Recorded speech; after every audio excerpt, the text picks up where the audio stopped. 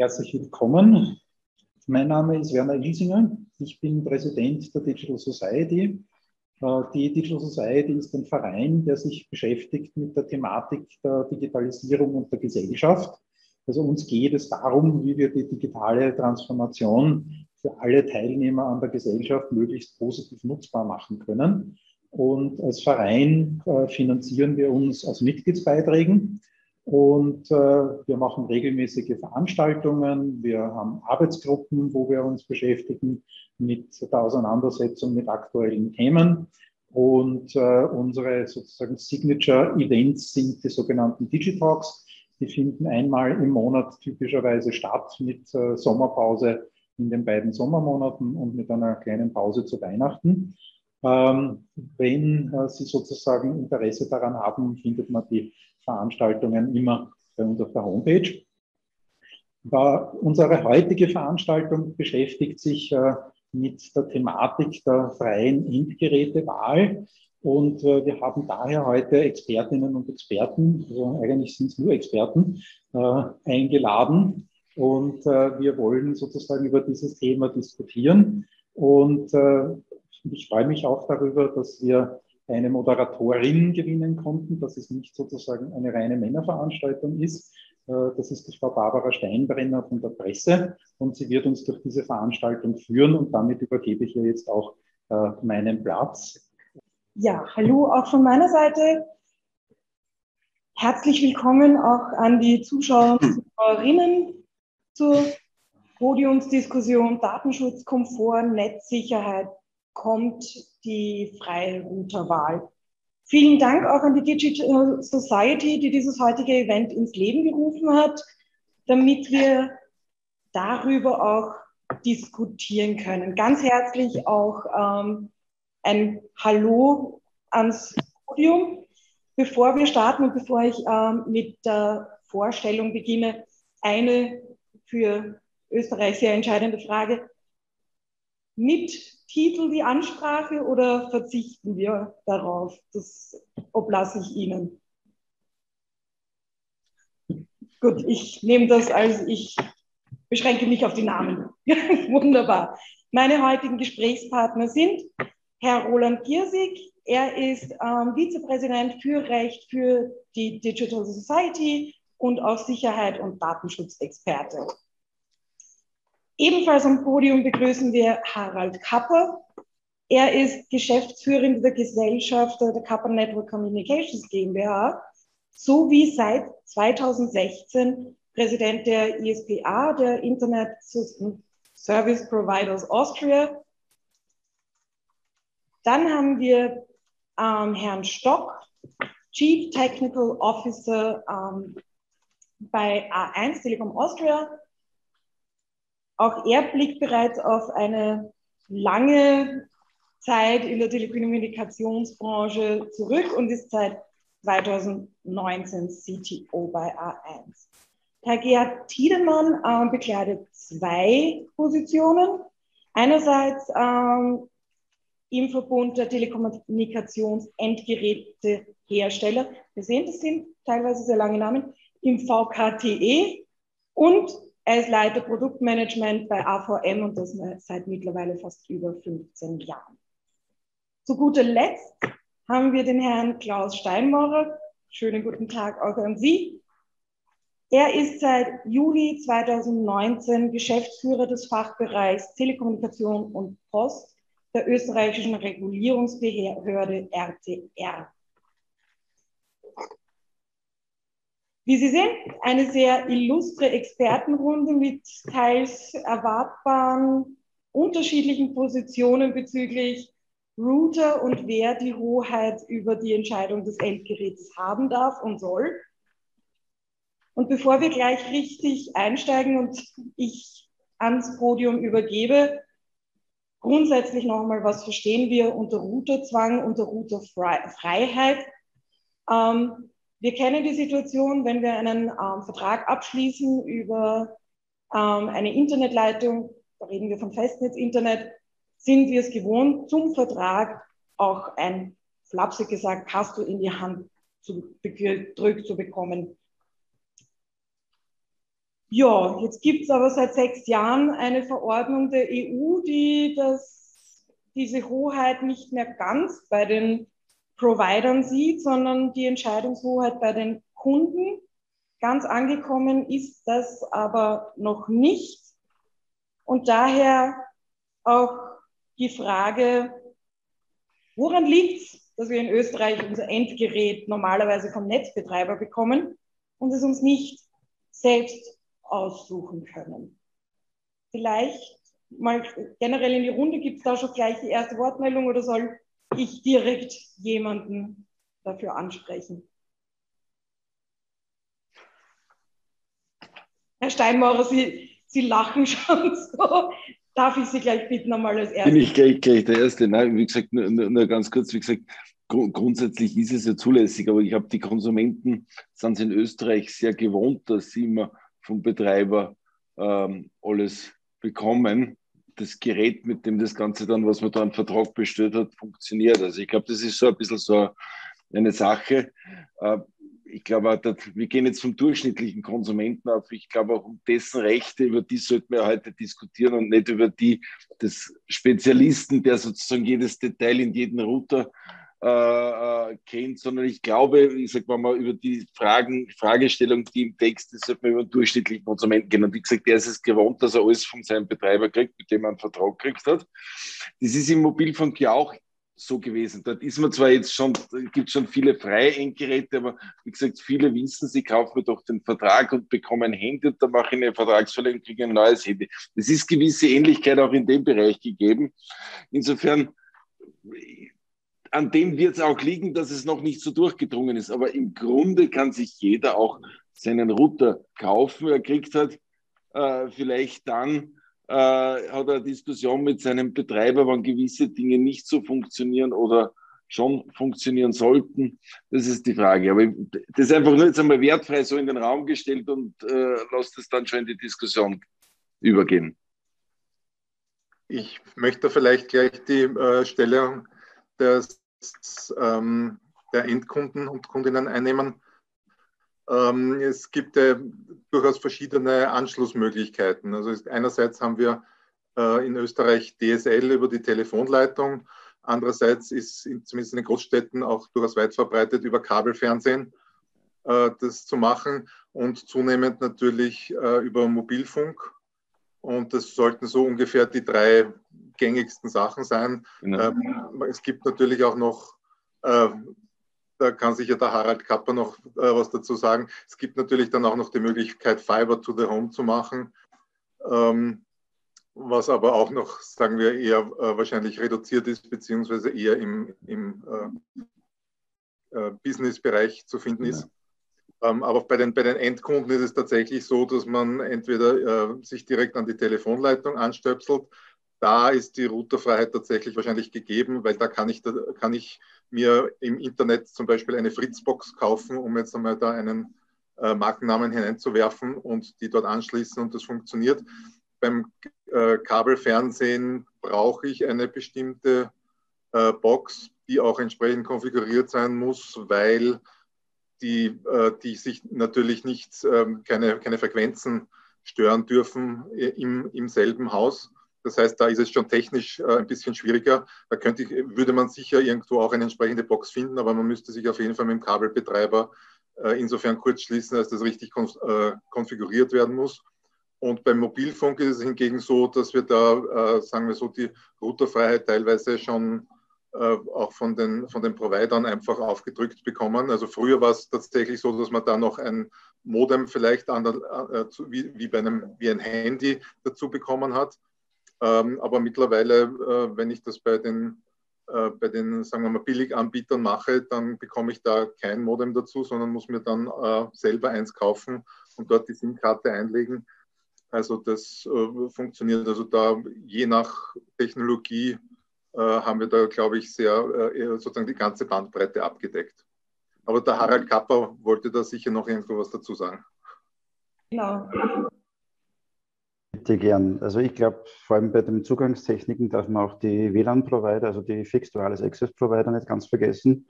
Es gibt da noch sehr viele WLAN-Wolken in ganz Österreich, ob das jetzt 5,8 GHz, die wir leider nicht verwenden dürfen, aber die Deutschen kennen das. Aber im klassischen Bereich sind es 5 GHz Strecken, 2,4 GHz Strecken und natürlich nur Frequenzen, die man auch noch quasi kaufen, Schrägstrich mieten oder zumindest anzeigen in der Nutzung muss.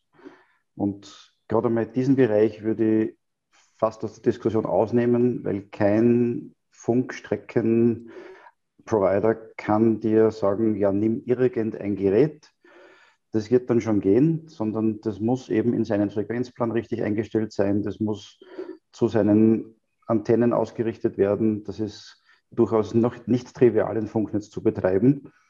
Und beim DSL gebe ich dir völlig recht, da ist es technisch kein großes Geheimnis. Dennoch, aber da nehme ich an, dass der Kollege von der 1 dann auch noch ausführen wird, du hast halt sehr viele Themen mit, sind die Treiber die richtigen, sind alle Features unterstützt, die man braucht, von Vectoring in der Minimalanforderung bis zu FTPS, bis zu Supervectoring etc.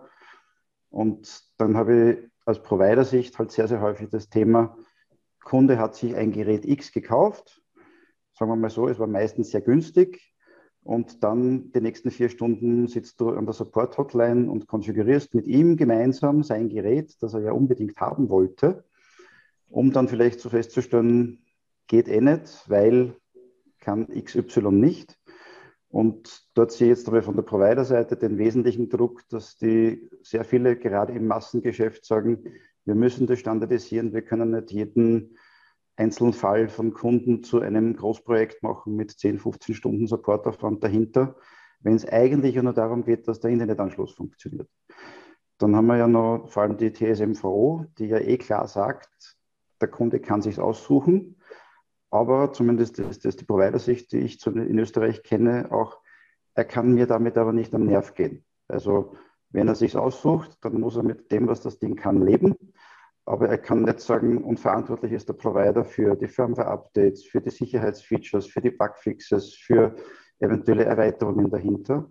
Und dort sehe ich halt den wesentlichen Drive auf der Provider-Seite zu sagen, bitte nehmen wir doch das, was wir getestet haben, was wir im Labor überprüft haben und was auch wirklich funktioniert. Und jetzt nehme ich nicht die ganze Stage, sondern mal da auf zwischendurch.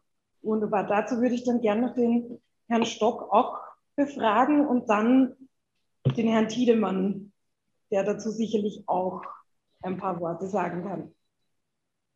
Sehr gerne. Also ich würde vielleicht auch, äh, äh, so wie die Kollegen davor, mit eher mit einer neutralen Sicht der Dinge beginnen, ohne jetzt irgendwelche Präferenzen da schon reinzulegen.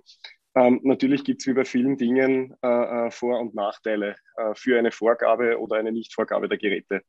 Ähm, aus meiner Sicht, äh, und das haben jetzt fast alle angesprochen, ich muss sehr stark unterscheiden, äh, wie versiert der Benutzer ist. Wenn ich jetzt auf den Standardbenutzer gehe mit den Standardkenntnissen, dann gehe ich einmal davon aus, äh, dass äh, er kann das Gerät vielleicht aus der Box nehmen und anstecken, aber über weitere Dinge, also sobald ich etwas konfigurieren muss oder irgendwelche Abhängigkeiten habe, ist das relativ schwer. Wir haben jetzt speziell auch in den Corona-Zeiten gesehen, wo die Anschlüsse und die Upgrades vor allem auf der Speed-Seite sehr stark angestiegen sind, dass die Erwartungshaltung der Kunden sich auch, auch stark verändert hat. Was hat sich verändert? Äh, WLAN äh, zum Beispiel ist ein, ein sehr, sehr großes Problem oder rührt oftmals äh, äh, zu den Problemen im Haushalt zurück. Kunden sind sich nicht bewusst, also der Cube wurde vorher angesprochen, Kunden sind sich beim Cube bewusst, dass er sich zum Mobilnetz verbindet. Das heißt, die wissen auch, dass wenn der, äh, wenn der Cube nicht ausreichend äh, äh, Bandbreite hergibt, dass man ihn einmal woanders hinstellt, dass man ihn näher zum Fenster stellt. Das ist mittlerweile fast selbsterklärend. Bei einem ADSL-Modem oder irgendeiner anderen Technologie, es ist ganz egal, ob das das Kabelmodem ist, das ADSL-Modem oder äh, äh, Fiber-Abschlusspunkt, die haben oftmals den Nachteil, dass das Kabel im Keller ins Haus kommt oder irgendwo im Eingangsbereich äh, in die Wohnung kommt. Und dort steht dann das Ding auch äh, und soll aber die ganze Wohnung äh, mit WLAN versorgen. Und wir sehen jetzt bei uns zum Beispiel bei jedem zweiten Einsatz, äh, wo der Fieldforce-Techniker zum Kunden fährt, äh, ist der Standard des Modems äh, eines der, der, Problemfälle. Das heißt, es liegt gar nicht an dem Speed, den der Kunde nicht in den Haushalt bekommt, sondern äh, die Schwachstelle ist dann auf der WLAN-Schnittstelle vom CPE zum Endgerät. Und das einfach nur als, als, als einleitendes Beispiel. Das heißt, für mich ist der Vorteil, den es bietet, wenn die zu Standard-Endgeräten äh, äh greifen, die der Betreiber zur Verfügung stellt, dass sie der Betreiber auch warten kann. Wir haben äh, auch gehört äh, vom Herrn Kapper, dass Sicherheit da zum Beispiel eine Rolle spielt. Also ich glaube nicht, dass der Durchschnittsverbraucher Fernweh-Upgrades macht, äh, eine Firewall konfiguriert, äh, das WLAN mit ausreichend Passwortschutz versieht, damit der Passant, der am Haus vorbeigeht, nicht in die Wolke rein kann. Und das sind alles Dinge, die aus meiner Sicht dafür sprechen. Jetzt vielleicht objektiv gesehen, was spricht dagegen? Ähm, aus meiner Betreibersicht wiederum wäre ich gar nicht so undankbar, wenn sich die Kunden äh, ihr Endgerät selber kaufen würden. Wenn ich mir das anschaue, ich habe zuerst gerade während, äh, während wir die Kollegen gehört haben, in unsere Statistik geschaut, wir liefern im Schnitt im Montag 30, äh, im, im Monat 30.000 äh, äh, Modems aus. Äh, in der Technologievielfalt, wenn man sich jetzt vorstellt, das Modem kostet je nach Qualität zwischen 30 und 70 Euro mal 30.000 im Monat. Also ich wäre gar nicht so unglücklich dafür, wenn der Kunde dafür zahlen würde. Ähm, wenn ich aber, und das hat der Herr Steinmauer einleitend gesagt, äh, ich glaube einfach, dass der Kunde das erwartet mittlerweile. Also ich wäre überrascht, wenn der Kunde bei uns in den Shop kommt, einen Anschluss bestellt und nicht erwarten würde, von uns äh, die Ausrüstung zu bekommen, dass er das auch barrierefrei dann verwenden kann. Also man sieht, es ist einiges spricht dafür, einiges spricht dagegen. Ähm, aber ich glaube, äh, als, als letztes Statement noch, ähm, dass die Zeit dafür uns äh, spielt. Wir sind jetzt momentan noch mit verschiedensten Technologien und innerhalb der Technologie noch mit verschiedensten Ausprägungen äh, vertreten. Aber ich glaube, dass wir alle äh, in Richtung äh, Fiber to the Home hoffentlich zumindest arbeiten und dass es doch irgendwann einmal in der Zukunft auch einfacher werden sollte. Und das wird uns dann sicher wieder mehr Flexibilität bringen. Eine kurze Nachfrage, bevor ich den Herrn Tiedemann ähm, zu Wort kommen lasse. Herr Stock, Sie haben jetzt gesagt, ähm, pro Monat 30.000, habe ich das jetzt richtig gesagt? Ja, plus minus. Ähm, ich gehe davon aus, dass das nicht 30.000 Neuanschlüsse pro Monat sind. Da reden wir dann wohl auch davon, dass Geräte ausgetauscht werden müssen. Weil ja, natürlich korrekt, ja. Wir haben äh, doch einen, einen, siebenstelligen Kunden, äh, siebenstellige Kundenanzahl am Netz. Äh, das ist äh, inkludiert, also 30.000 inkludieren Lifecycle. Ein Gerät hält je nach Qualität hoffentlich in unserem Fall äh, mindestens vier Jahre. Das ist der eine Teil. Und das, was wir jetzt eben sehr stark erkannt haben in Corona-Zeiten, wir haben jetzt gerade einen äh, Modemwechsel oder wir durchlaufen gerade einen, einen Modemwechsel. Wir haben bis dato ähm, ein Modem von, äh, ich möchte den Hersteller jetzt nicht sagen aus Währungsgründen, aber wir wechseln den Hersteller, weil wir einfach bemerkt haben, dass die WLAN-Qualität, die das Modem zur Verfügung stellt, eine maßgebliche Rolle spielt. Und wir haben uns jetzt einfach ein Endgerät gesucht, das auch in der Basisvariante eine, ein, ein, eine wesentliche Verbesserung in, in der WLAN-Coverage, äh, also das heißt im, in, äh, in der Netzbreite in der Wohnung, aber auch im Durchsatz zulässt. Herr Tiedemann, ich würde Sie auch bitten und ein bisschen ähm, noch aufgegriffen dazu. Ähm, es ist ja wohl auch ein bisschen aus der Praxis gegriffen, aber werden ein wenig die Kunden auch in ihren Fähigkeiten ein bisschen unterschätzt? Ja, also ich sag mal ganz allgemein, man sollte Menschen grundsätzlich nie unterschätzen. Ähm, und es ist sicher äh, schwer, sozusagen genau den Durchschnittsanwender für Breitband zu finden. Ich meine, ähm, eine Gesellschaft ist so unterschiedlich in ihren Persönlichkeiten und so unterschiedlich sind halt auch die Bedürfnisse. Und so unterschiedlich sind auch die Bedürfnisse in den in der Anwendung von diesen schnellen neuen Anschlüssen für Breitband. Da gibt es vielleicht, ich sag mal, den ganz, ganz durchschnittlichen Anwender oder Anwenderin, wie gerade skizziert. Aber da gibt es ja auch äh, Firmenkunden, die zum Beispiel ähm, spezielle Anforderungen an Sicherheit, an Datenschutz, an Zuverlässigkeit der Produkte stellen. Da gibt es aber auch ähm, Anwendungen, ich sag mal, im Alarmierungsbereich, wenn sie in einem Aufzug stecken bleiben äh, dann wollen sie natürlich Notruf absetzen können. Und auch da gibt es einige Unternehmen, die in diesem Bereich sehr, sehr aktiv sind und auch ein hohes Interesse haben, äh, eben einen Anschlussrecht an die öffentlichen Netze zu bekommen. Aber ich komme jetzt gern wieder zurück auf, ähm, auf das hier skizzierte, ich sag mal eher ähm, vom typischen Konsumenten her gedachte Verhalten. Ne? Und ich ähm, vielleicht eine Sache. Ich bin äh, nicht nur für diesen Verbund von 26 Herstellern jetzt hier dabei. Ich habe persönlich halt auch einen Hintergrund von der Firma AVM. Wir sind der Hersteller dieser Fritzbox, wo der Name heute schon einmal gefallen ist. Und wir verfügen halt über zum einen sehr lange Erfahrung im Herstellen dieser Geräte. Wir haben eine ähm, ein, ein, eine sehr enge Beziehung zu den pardon, echten Endanwendern. Äh, und wir haben natürlich auch äh, viele Beziehungen zu Internet Service Providern und äh, einer ist äh, hier ja auch mit in dem Plenum dabei. Das heißt, wir als Hersteller sehen ja durchaus beide Bedürfnisse und Bedarfe. Auf der einen Seite soll der Netzbetreiber hat natürlich äh, das hohe Interesse, dass die Dienste, die über das Telekommunikationsnetz angeboten werden, dass die möglichst zuverlässig auch beim Endabwender abgenommen werden.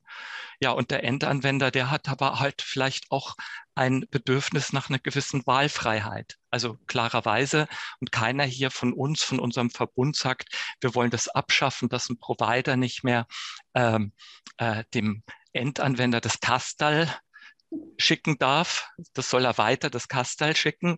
Aber es gibt eben auch Anwendungen, wo Leute sagen, okay, ich bin mit dem WLAN zum Beispiel nicht zufrieden, aber ich weiß im Laden, oder ein Freund oder ein Kollege hat mir was empfohlen, da ist das WLAN viel, viel besser.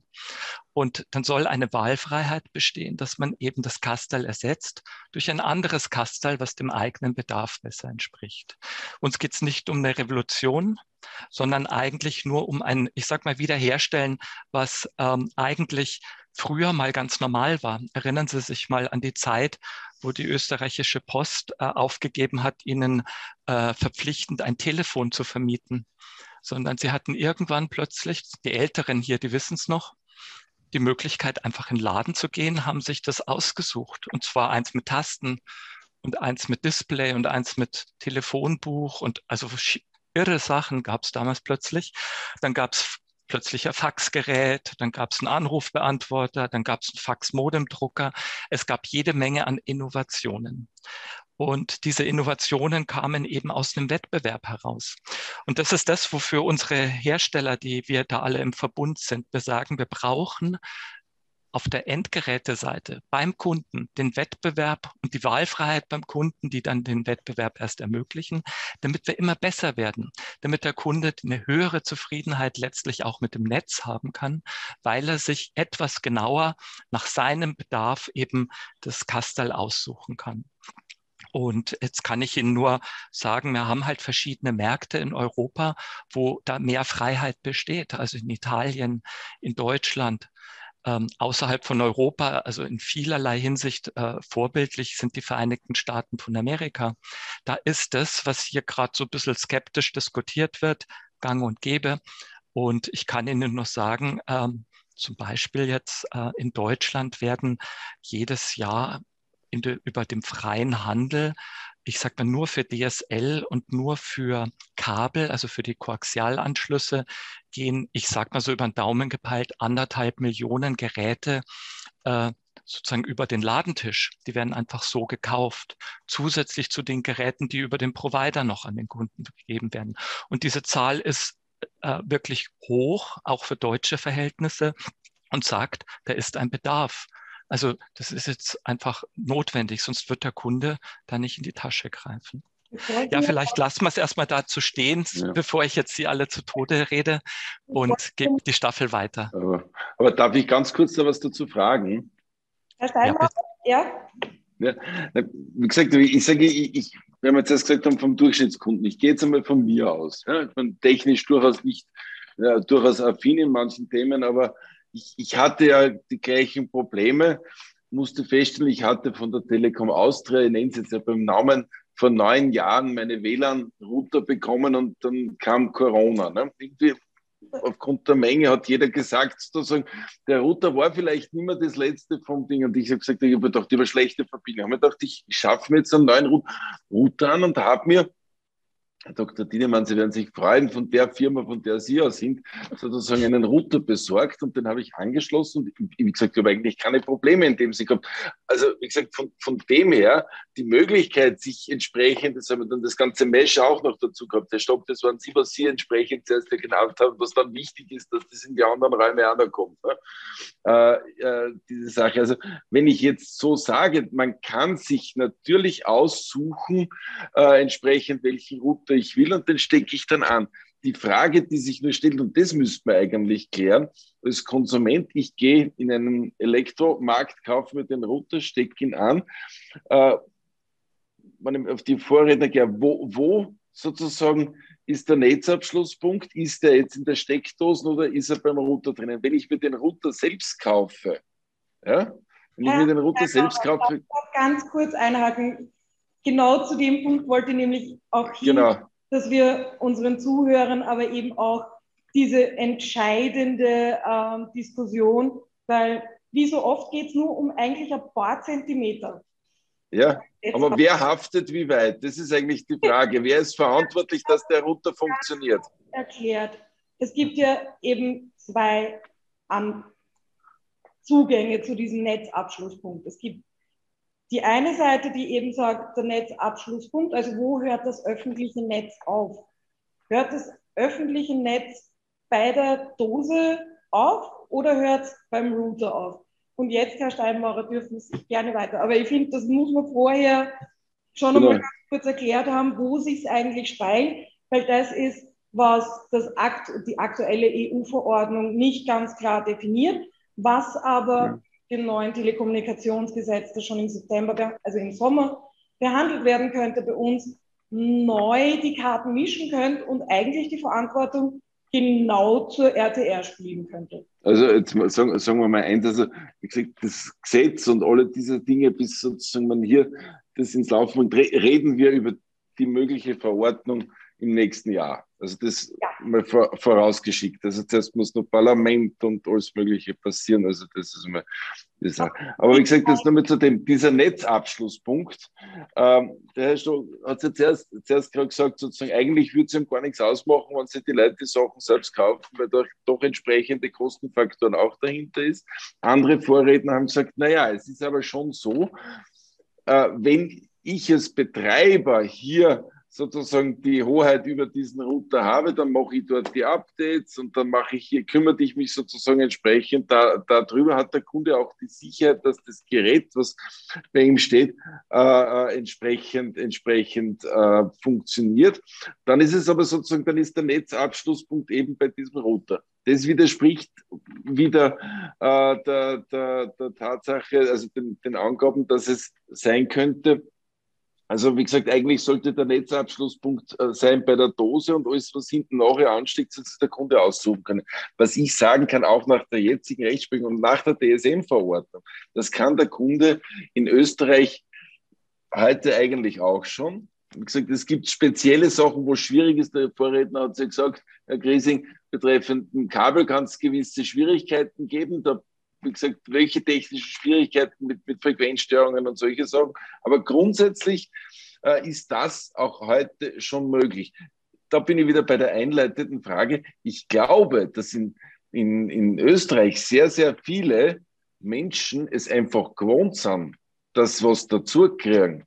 Wie gesagt, man müsste vielleicht schauen, okay, wie kann man hier das, das breiter äh, hinausbringen. Aber wie gesagt, eben wenn ich in den A1-Shop oder in den Magenta-Shop oder in den 3-Shop, um hier sozusagen neutral das zu sagen, gehe äh, und dort mir einen Router äh, einen Vertrag abschließe, dann erwarte ich, dass ich das Hassel kriege, weil wir haben kein Anstecken und muss funktionieren. So wie ich es beim Handy gewohnt bin, eben ich will ein Handy dazu haben. Und darum sage ich, da haben wir vielleicht sozusagen in der Zugang durch den Konsumenten vielleicht noch die Frage sagt, okay, du kannst es ja auch selbst aussuchen und dann könnte man in diesem Bereich auch mehr pushen.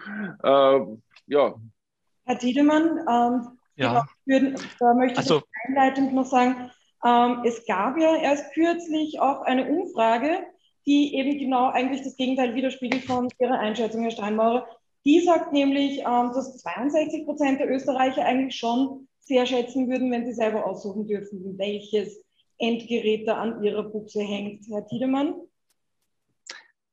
Ja, also in der Tat, diese, es wurde äh, ähm, diese Studie erhoben. Sie deckt sich auch mit dem, was wir in anderen äh, Ländern in Europa natürlich haben. Und ich sage mal, es ist natürlich offensichtlich, jeder Mensch, der gefragt wird, ob er einen zusätzlichen Freiheitsgrad gerne hätte, der sagt natürlich, ja. natürlich hätte ich den gerne. Ne? Und worüber wir hier ja sprechen, also es ist offensichtlich, dass es im Interesse der allgemeinen Bevölkerung ist, dass sie mehr Wahlmöglichkeiten hat, dass sie so ja. wie der Herr Steinmaurer das vorschlägt, halt sein Kastel beim Provider holt. Das mag vielleicht für einen Teil der Kunden von Interesse sein, aber insgesamt ist für einen anderen Teil eben auch von Interesse, äh, alternativ dazu was zu machen. Also niemand will dem, dem das Castile des Providers weghaben, aber man möchte Option haben, eins mhm. dazu zu machen. Und da bin ich äh, wie soll ich sagen, äh, ich denke gerade äh, RTR verstehe ich ja auch als neutrale Stelle, ja. die ein Stück weit natürlich abwägen muss jetzt an der Stelle zwischen den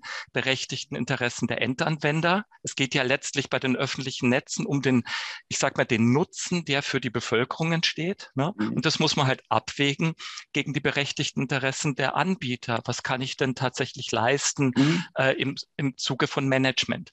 Herr Steinmauer, wenn Sie es mir vergeben, ich hatte ja dieses uralte Telefon mit Wählscheiben Zielscheibe als mhm. Bild nur vorher mal genannt. Wenn ich jetzt Ihnen folgen würde, dann würde eigentlich das bedeuten, dass Sie damals auch gesagt hätten, na ja, damit der, der, Kunde, der normale Kunde, der will ja nur telefonieren. Ja. Und der will ja auch nur, und, und damit, damit die ja. österreichische Post das gut den Service abliefern kann, muss natürlich auch die, ja. die Hörmuschel und die Sprechmuschel, die müssen genau abgestimmt sein auf das Netz. Und wenn das aus einer Hand kommt, dann, nur dann kann die österreichische Post einen guten Telefondienst aber, abliefern. Aber, und das aber, hat sich ja, pardon, Entschuldigung noch, das hat sich halt geändert und das hat sich in den 90er Jahren geändert mit der R&TTE-Richtlinie, die Sie sicher gut erinnern, wurden ja ganz klar die Netze geöffnet, die ja. Anschlussrecht für Endgeräte eingeführt und es gab wirklich großen, äh, äh, große Verbesserungen. Was wir beklagen als Endgerätehersteller ist, dass ganz heimlich, ganz still und ganz leise dieses Recht, das äh, viel breiter schon gelebt worden ist in Europa, peu à peu mit dem Einzug der neuen Netze immer mhm. schmaler geworden ist. Und äh, zum Beispiel im Kabelnetz glaube ich nicht, dass sie es schaffen werden, dass sie mal in den Laden gehen, sich ein anderes Kabelmodem kaufen und an Magenta anschließen. Wenn sie das schaffen, kriegen sie von mir 100 Euro. Na, da, ähm, also ich bin das, ja. wie gesagt, ich bin ein Amtsträger, Herr. Herr, ja, ja. Aber einige, ich habe hier schon einige hochgehaltene Hände. Also Sie können gerne antworten auf Herrn Tiedemann, aber. Ganz kurz. Ja, gerne. Ganz kurz, Frau Steinbrenner. Ähm, Herr Tiedemann, also ich, ich, ich, bin natürlich nicht dagegen, und die, dass, dass die äh, Geräte äh, sozusagen, dass man sich der Innovation zu versperren und so weiter, das kann man auch genauso auf den Tisch bringen. Nur die grundsätzliche Möglichkeit besteht. Die Frage ist ja dann nur, und die müssen wir klären, sozusagen, bis wohin ist dann der Betreiber verantwortlich für das Gerät? Um das geht's. Mhm. Ja? Also das ist eigentlich meine Frage. Wenn ich sage, okay, der Konsument ist mündig und er will sein Gerät wählen, ist er dann auch für das Gerät verantwortlich und muss sich eher um alles kümmern?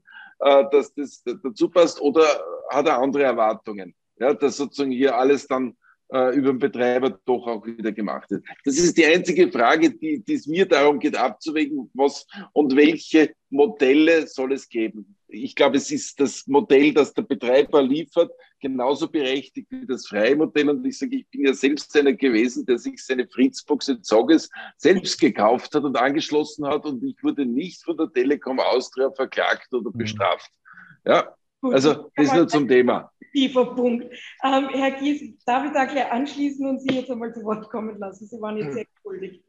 Ja, danke schön. Ähm, ich möchte eh gleich in diesen Punkt mit dem, mit dem Terminierungspunkt hineinspringen und mal darauf hinweisen, dass wir da vielleicht auch ein bisschen eine, ähm, eine, eine Begriffsproblematik haben, weil wir reden immer von Routerfreiheit und eigentlich ist es doch mehr eine Modemfreiheit, äh, um die tatsächlich das Problem machen würde. Ähm, Im Unterschied, also das Modem ist quasi nur der, der Endterminierungspunkt und der Router ist ja schon eigentlich viel mehr, weil ähm, wenn ich mich da eben äh, direkt irgendwo anstecke, dann kann ich da eben nur digitale Daten drüber schicken. Aber in Wirklichkeit will ein Internet, ähm, äh, eine Internetkundschaft ja, ähm, also jemand, der einen Internetzugang äh, haben will, will ja in Wirklichkeit einen Service haben. Dem ist vollkommen wurscht, äh, ähm, äh was das Technische dahinter ist. Äh, der will genau äh, seine Endgeräte verbinden können über eine genormte Schnittstelle. Das muss funktionieren. Und was dann tatsächlich im Hintergrund passiert, ähm, ist, ist, relativ, äh, ist ihm relativ egal. Ähm, das heißt, in Wirklichkeit geht es ja da um eine, eine Normung einer Schnittstelle. Was, will der Endkunden, äh, was wollen Endkunden haben? Sie wollen eine, entweder eine Ethernet-Buchse haben oder sie wollen einen WLAN-Zugang, wo sie sich verbinden können.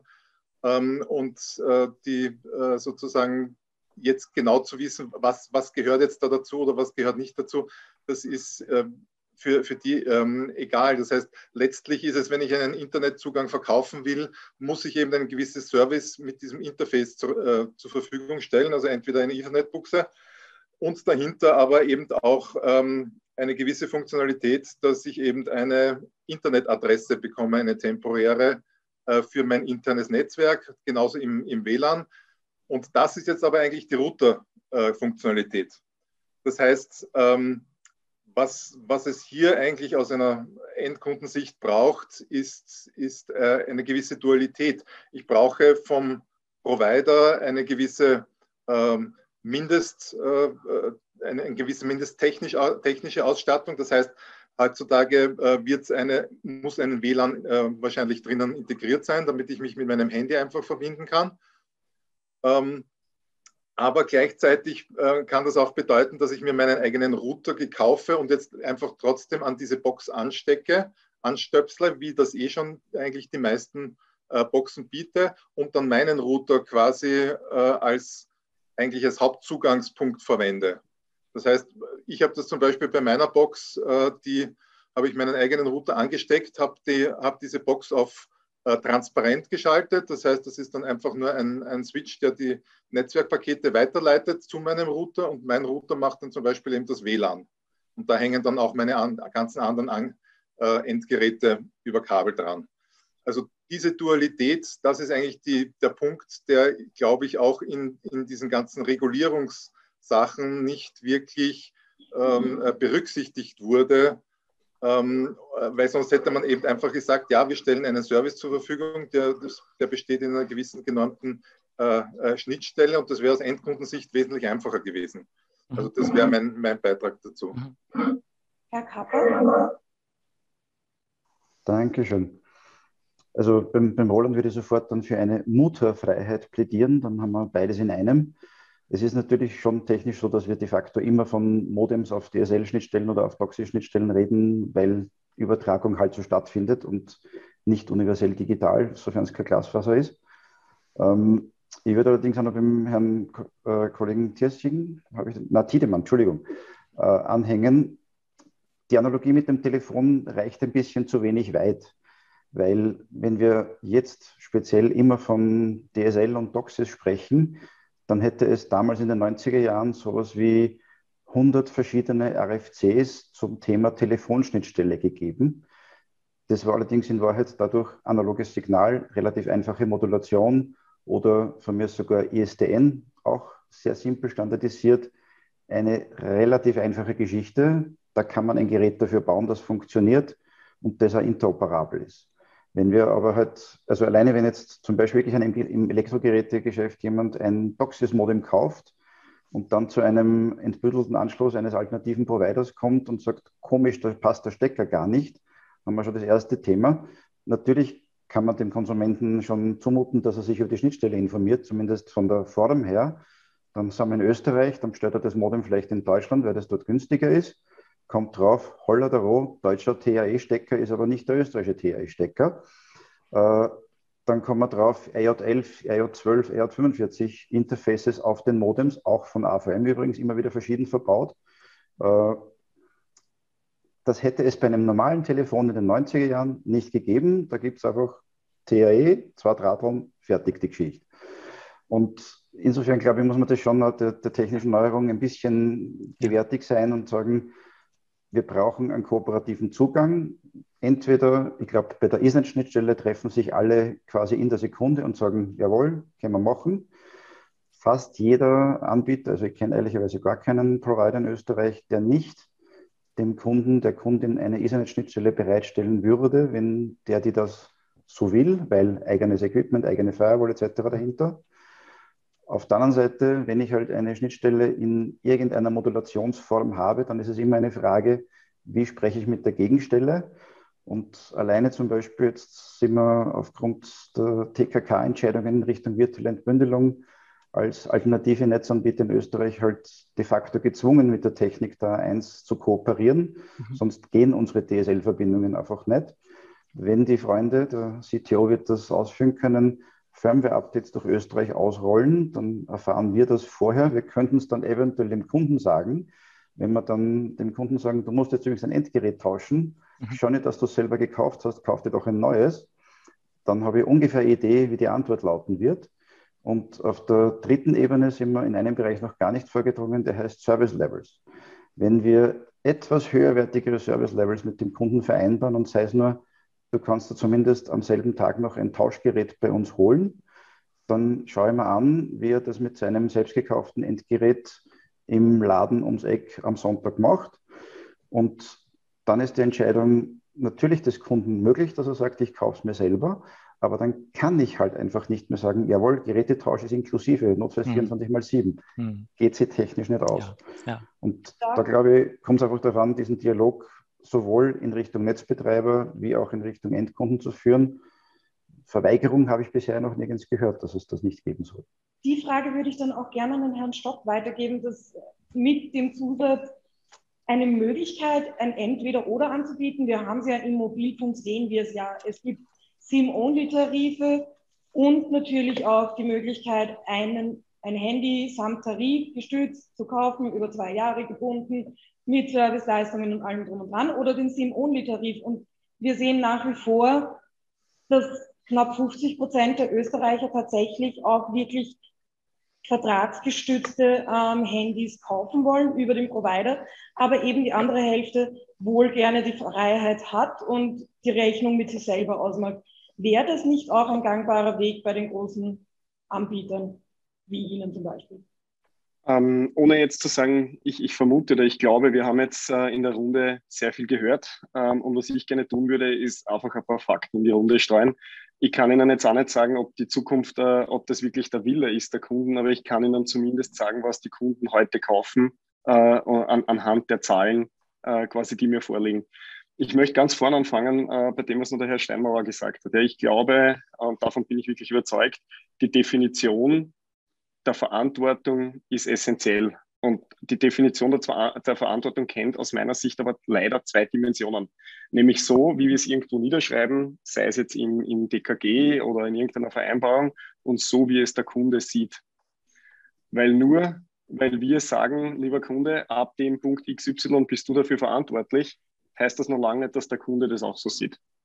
Ähm, das beginnt heute äh, und Sie können sich vorstellen, und das ist der erste Fakt, den ich da mitgeben möchte, äh, ist, wir haben circa 250.000 äh, äh, Support-Einsätze im Jahr, äh, wo einer meiner Techniker beim Kunden aufschlägt.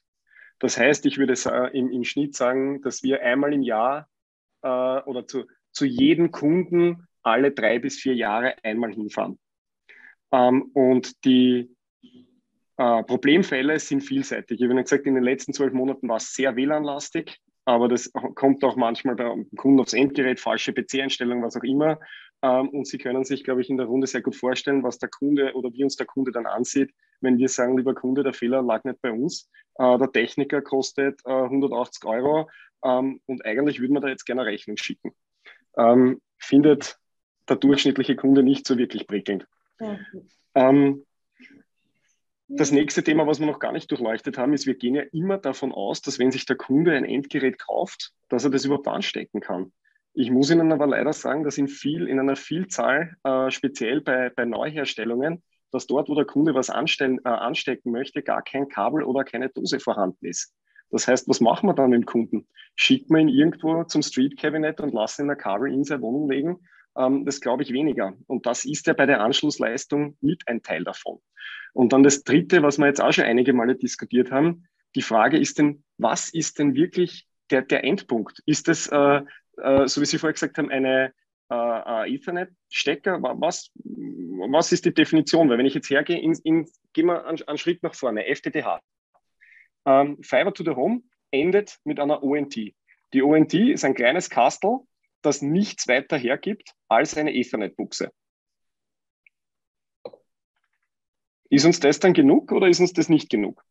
Der nächste Fakt, den ich Ihnen da mit, äh, mitgeben möchte, ist, wir bieten unseren Kunden ja nicht nur ein CPE an, sondern äh, verschiedene. Und unser Premium-CPE ähm, ist in der Runde auch schon ein paar Mal erwähnt worden. Äh, das bieten wir auch an. Und ich kann Ihnen sagen, momentan ist der, äh, die, der Anzahl der Kunden, die das dann wirklich äh, äh in Betracht zieht, ist geringer als 10 Prozent. Ähm, und das Letzte, was jetzt auch schon ein paar Mal erwähnt worden ist, ich kann Ihnen äh, ganz offen sagen, das äh, äh zieht auch in Ihre Frage, ähm, in Wirklichkeit kann man bei uns ja anstecken, was man will. Ja, solange man, solange man äh, äh, ich mal, in der Lage ist, das zu, äh, das zu konfigurieren. Also wir haben ja ein, ein andere, ein, ein, eine andere Provisionierungslogik als unsere Konkurrenz. Das heißt, äh, wenn Sie bei uns die, die Netzparameter be, äh, beachten und ein Gerät anstecken, das das unterstützt und Sie geben Ihren Usernamen und ein Passwort ein und der Herr Steinmauer hat es ja gesagt, Sie haben es ja selber äh, ausprobiert und das hat funktioniert, dann geht das ja auch. Das heißt, wir wehren uns ja gar nicht dagegen. Was aber dann definitiv nicht funktioniert, das ist, wir haben ja, wir stellen unseren Kunden einige Remote Capabilities zur Verfügung. Das heißt, wir unterstützen den Kunden, den optimalen Standard äh, zu finden, um eben eine WLAN-Coverage herzustellen. Ähm, dann das, was wir natürlich auch äh, tun, ist, wir testen die Modems. Das heißt, wir, wir selektieren nicht willkürlich irgendein Modem, nur weil es gerade billig ist, sondern wir kümmern uns auch darum, dass mit der besten Technologie, die uns derzeit zur Verfügung steht über Kupfer, äh, auch das beste Service-Level beim Kunden dann auch ankommt. Und da sehen wir durchaus, dass die Geräte im Faktor drei auseinandergehen. Das heißt, wenn ich ein schlechteres Gerät auf die gleiche Anschlussstelle äh, stecke, dann kann es sein, dass ich bis zu nur einem Drittel äh, äh des Speeds bekomme. Und das ist jetzt, äh, ich habe am Anfang gesagt, ich möchte keine Präferenz darlegen, aber das, was ich momentan, also was ich jetzt aus meiner Betreibersicht sage, um den Kunden das bestmögliche Service bieten zu können. Derzeit auf Kupfer. Und ich beziehe mich wirklich auf Kupfer, weil es da Technologieunterschiede gibt. Und da gibt es viele Dinge, die ich machen können muss. Von Messungen bis hin zum Kundensupport äh, muss ich dem Kunden zumindest ein Endgerät empfehlen können. Wenn der Kunde dann sagt, das ist mir wurscht, ich nehme so einen Kauf, es schlechter ist, ähm, von, von mir aus, aber dann würde ich mir aus meiner Sicht zumindest erwarten, wenn er dann nicht zurechtkommt, muss es eine Regelung geben, dass er den Support dann auch bezahlt. Weil das muss dann, glaube ich, in irgendeiner Art und Weise verständlich sein, dass wir dafür äh, natürlich dann nicht mehr gerade stehen können. Und da sind wir wieder beim Def bei der Definition der Schnittstelle. Und da kurz ähm, nachgefragt, weil die 180 Euro kurz einmal ein Fragezeichen ausgelöst haben. Also wenn das Problem nicht direkt mit der Leitung per se zu tun hatte und irgendwas umgestellt worden ist, dann kann das schon einmal richtig ins Geld gehen. Sehe ich das richtig? Sa sagen Sie mir das nochmal, wenn? Sie haben jetzt gesagt, von wegen, dann kostet das 180 Euro. In welchen Fällen kostet das dann 180 Euro, wenn der Techniker kommt? Das, das war Hausnummer, aber Sie können davon ausgehen, äh, wenn Sie sich über ganz Österreich bewegen, der Techniker hat eine Anfahrtszeit. Das heißt, wenn der eine halbe Stunde zum Kunden fährt, sich dort eine Stunde aufhält, wieder eine halbe Stunde zurückfährt, ähm, rechnen Sie sich eine, Kosten pro Stunde von einem normalen Techniker aus. Es ist wurscht, ob das ein Mechaniker ist in Österreich, äh, ein Tischler bei Ihnen zu Hause oder bei uns ein Servicetechniker. Ähm, das, Sie zahlen nach Zeit. Okay, okay, gut. Ähm, und grundsätzlich noch einmal die Frage ein bisschen erweitert. Wir haben die SIM-Only-Tarife im Mobilfunk mit Handy Sprich, ich nehme mein eigenes Handy und hole mir eigentlich nur die SIM-Karte und zahle da ja an sich auch eine Servicepauschale mit, die ja verpflichtend ist, um eben das Netz an sich, wenn es da Probleme kriegt, ein bisschen den Service zu haben. Gibt's, oder ich habe halt eben den Tarif samt Handy. Gibt es nicht die Möglichkeit, auch wirklich hier zwei verschiedene Tarife anzubieten? Eben einmal hier mit das rundum sorglos Paket von deinem Anbieter mit Service, wenn es irgendwie Schwierigkeiten gibt, wenn es Probleme gibt.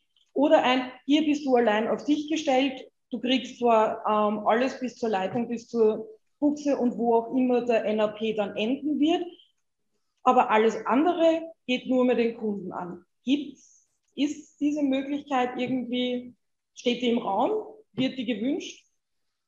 Von beiden Seiten? Ich, ich muss da reinhüpfen, weil Servicepauschale ist durchaus nicht bei allen Anbietern in Österreich automatisch dabei. Also da gibt es welche, die haben das auf ihrem Tableau und sehr, sehr viele, die es auch nicht haben. Nur so zur, zur Klarstellung. Also Servicepauschale heißt nicht unbedingt, dass man dafür jetzt was extra kriegt, glaube ich. Aber die Frau Steinbrenner ist eigentlich auf dem besten Weg ins Produktmarketing bei einem Telekom-Betreiber. Nein, nein, nein, nein, nein. Wie meinen, Herr Steinbach? Nein, wie gesagt, also ich, ich denke alle, also jetzt nur, Herr Stock, verzeihen Sie, wenn ich das sage, aber aus, aus meiner Erfahrung, sicher sind das alles Möglichkeiten, über die man nachdenken kann, glaube ich, oder? Dort, wo das Netz, also wir nennen es äh, super self-install ready. Ja? Das heißt, ich glaube, dass es legitim ist, ähm, wenn der Kunde mit seiner Box heimgehen kann und er, hat eine, er findet eine Infrastruktur vor, die mit seinem äh, Modem kompatibel ist und er kann sie anstecken. Mhm. Wenn der Kunde nicht einmal weiß, ob er in seiner zukünftigen Wohnung an Kupfer, an, an, Glasfaser oder äh, an Kabelanschluss von der Magenta vorfindet, was kauft er denn? Wo steckt er denn das an? Woher, äh, der, der Normal, der, wir können ja nicht vom Normalkunden her ausgehen, dass der weiß, dass er mit unserem Kabelmodem an der, an der, äh, an der Telekabelbuchse nicht, äh, nicht das Auslangen findet. Und äh, äh entschuldigen Sie, ich, ich, Herr Tiedemann, ich, ich verallgemeine einfach die, die, die Klasse an Kunden, die keinen technischen Hintergrund haben. Und das sind primär die Kunden, für die wir 250.000 Mal im Jahr rausfahren. Das ist wieder dort, wo ich einleitend eigentlich gesagt habe, wir reden über einen durchschnittlichen Kunden, was, ja. Kann, ja. was kann man dem zumuten. Ja. Aber wie gesagt, von, von, dem, von dem her, das, das ist vielleicht auch meine Frage an Herrn Dillemann in, in, in, die, in die Richtung. Was ist unterschiedlich jetzt in Österreich im Vergleich zu den anderen Ländern? Weil das würde mich jetzt nämlich persönlich auch interessieren, in dem Nachdenken sozusagen, was man vielleicht noch besser machen kann. Weil ich sehe seh da eigentlich kann ich auch, habe hab auch wenig Beschwerden zu dem Thema bei ja. uns. Darum, darum ja. interessiert mich das. Ja. Also ähm, vielleicht folgendes, weil also ähm, es ist ja nicht so, dass es nur den Anbieter gibt, also ich sage jetzt mal hier eine A1 und nur den Endkunden, sondern es gibt ja ähm, wenn sich da ein Markt entwickelt, gibt es ja mehr. Da gibt es zum Beispiel den Händler, der berät mhm. beim Verkauf. Da gibt es zum Beispiel die Fachzeitschrift und die Online-Portale, mhm. die äh, da sind. Da gibt es Verbraucherschutzverbände, die, ähm, die die Produkte vielleicht auch nochmal besonders testen. Da gibt es eine Regulierungsbehörde, die äh, die ganz, ganz schlechten aussortiert. Ne, haben wir ja ein Funkgeräte und so gibt es ja immer mal wieder was das, was durch die Marktüberwachung äh, durchfällt. Also es ist ja nicht so, dass es nur jetzt diesen jetzt vergeben Sie es mir, der dumme Kunde gibt und sonst niemanden, sondern äh, wir alle leben in einer Welt, da müssen halt wir uns informieren, da haben wir Nachrichten, da wird geredet und gerade in Corona haben wir viel drüber geredet. Wie geht mein WLAN gut? Wie geht's schlecht? Was hast du für einen Tipp? Was können wir da machen? Wie läuft denn dein Kabelanschluss? Also bei DSL gibt's immer Abbrüche, die Videokonferenz. Also da wird drüber geredet. Genauso wie über die Inzidenzzahlen und über die genau dasselbe Thema. Das heißt, es ist ja nichts, was äh, sozusagen überhaupt nicht in dem, in dem, in dem, im Orbit des Kunden ist, sondern der ist ja sehr informiert, wenn er sich dahin entscheidet und sagt, ich möchte mir ein besseres Endgerät kaufen. Und weiterhin, es geht, äh, ich bin, ich bin wirklich der allerletzte, der sagt, dass ein ähm, Endanwender, wenn der aus einer Hand vom Provider was bekommt, dann sollte er das nehmen, wenn der keinen, sich dafür gar nicht interessiert. Wenn das vollkommen uninteressant ist und er sicher sein will, wenn die Videokonferenz wieder ruckelt, dass er sich an einen Partner wenden kann und er super sicher ist, dass dieser eine Partner das löst. Wunderbar, über habe ich überhaupt kein Problem. Uns geht es halt darum, das ist halt nur ein Teil. Und aus unserer Sicht gibt es aber eigentlich schon Bedarf an einer eher grundsätzlichen Überlegung in Österreich, die eher, sagen wir mal, ein bisschen tiefer nochmal geht. Und Sie haben es, äh, ich glaube, Herr Stock oder Herr Kapper hat es angesprochen, wir sprechen ja äh, im Moment von so einer, ich sag mal, Übergangsphase, wo wir im Festnetzbereich äh, ältere Technik haben, DSL und Koaxial ist noch ziemlich frisch, aber wir münden ein in eine Welt, die uns dann auf viele Jahrzehnte über die Glasfaser ist. Und deswegen diskutieren wir halt jetzt an der Stelle mit Ihnen sehr gerne, weil wir ja einmünden wollen in eine zukünftige Welt. Und da würden wir gerne über diese, ich sag mal, allgemeinen Strukturen sprechen, äh, die wie sich Telekommunikation in Österreich oder in Europa gestaltet. Und äh, jetzt, wenn Sie mir kurz mal nur damit, es geht ja um eine Verständigung der, der, der Sichtweisen ein bisschen. Unsere Sicht ist halt, es gibt Telekommunikation und da gibt es auf der einen Seite die Dienste und die Anbieter der Dienste. Und dann gibt es auf der anderen Seite eben die Endgerätehersteller. Das sind die, deren Thema ist, diese Endgeräte möglichst nah an den Bedarfen der Kunden zu machen. Und beide treffen sich man trifft sich eben an der Schnittstelle. Und diese Schnittstelle, glücklicherweise, ist gerade im Festnetz gut definiert. Da gibt es die Internationale Telekommunikationsunion, ITU, die macht die weltweit verbindlichen Standards, wie man sich auf dieser, auf dieser Kupferleitung, auf dem Koaxialkabel, aber auch auf der Glasfaser treffen kann. Und aus meiner Sicht als Hersteller, jetzt kann ich es nur sagen, und Sie haben möglicherweise andere Sichten, ist es so, dass ähm, letztlich diese Standards teils Jahrzehnte äh, äh, da sind. Entsprechend das Thema Interoperabilität, also die Kompatibilität verschiedener Hersteller in der Kommunikation sehr gut ausgereift ist. Sie müssen halt wissen, dass es jetzt ja nicht so ist, dass, äh, dass äh, ich nehme jetzt mal ein anderes Land, in Niederlande einer ein, ein Headend für ein, für, ein, für, ein, für, ein, für ein Koaxialnetz komplett neu erfindet und baut, sondern er kauft sich das von einem der wenigen Hersteller, die es da weltweit gibt. Und dann kauft er sich von einem anderen Hersteller eben die entsprechenden Modems. Und weil die wiederum von noch viel weniger Chipsatzherstellern äh, hergebaut worden sind, die alle zusammen im Vorfeld schon Interoperabilität gemacht haben, weil sie auf einer weltweiten Skala miteinander Geschäfte machen wollen. Deswegen ist das Risiko, dass man sich gerade auf der untersten Kommunikationsschicht, dass es da ein Problem geben würde, das wäre zumindest in meiner kleinen Erfahrungswelt als AVM nicht das große Problem. Klar muss man da dauerhaft dran arbeiten. Ich will nicht ausschließen, dass es auch mal Themen gibt, aber im Wettbewerb mit anderen ist unser AVM-Anspruch, dass wir halt möglichst schnell alle Probleme aus der Welt schaffen und vor allem wollen wir nicht nur so gut sein wie andere Modems, wir wollen besser sein als andere Modems. Und das Vertrauen haben wir halt da drin und glauben deswegen, dass diese Grundstruktur Netze, Dienste und eben Endgeräte, dass das auch dauerhaft uns in die Glasfaser reinträgt und das Verbindende ist eben der Standard und die Interoperabilität. Darf ich dann gleich auch das Wort an den Herrn Stock und danach gleich an den Herrn Kapper weiter übergeben? Mikro bitte.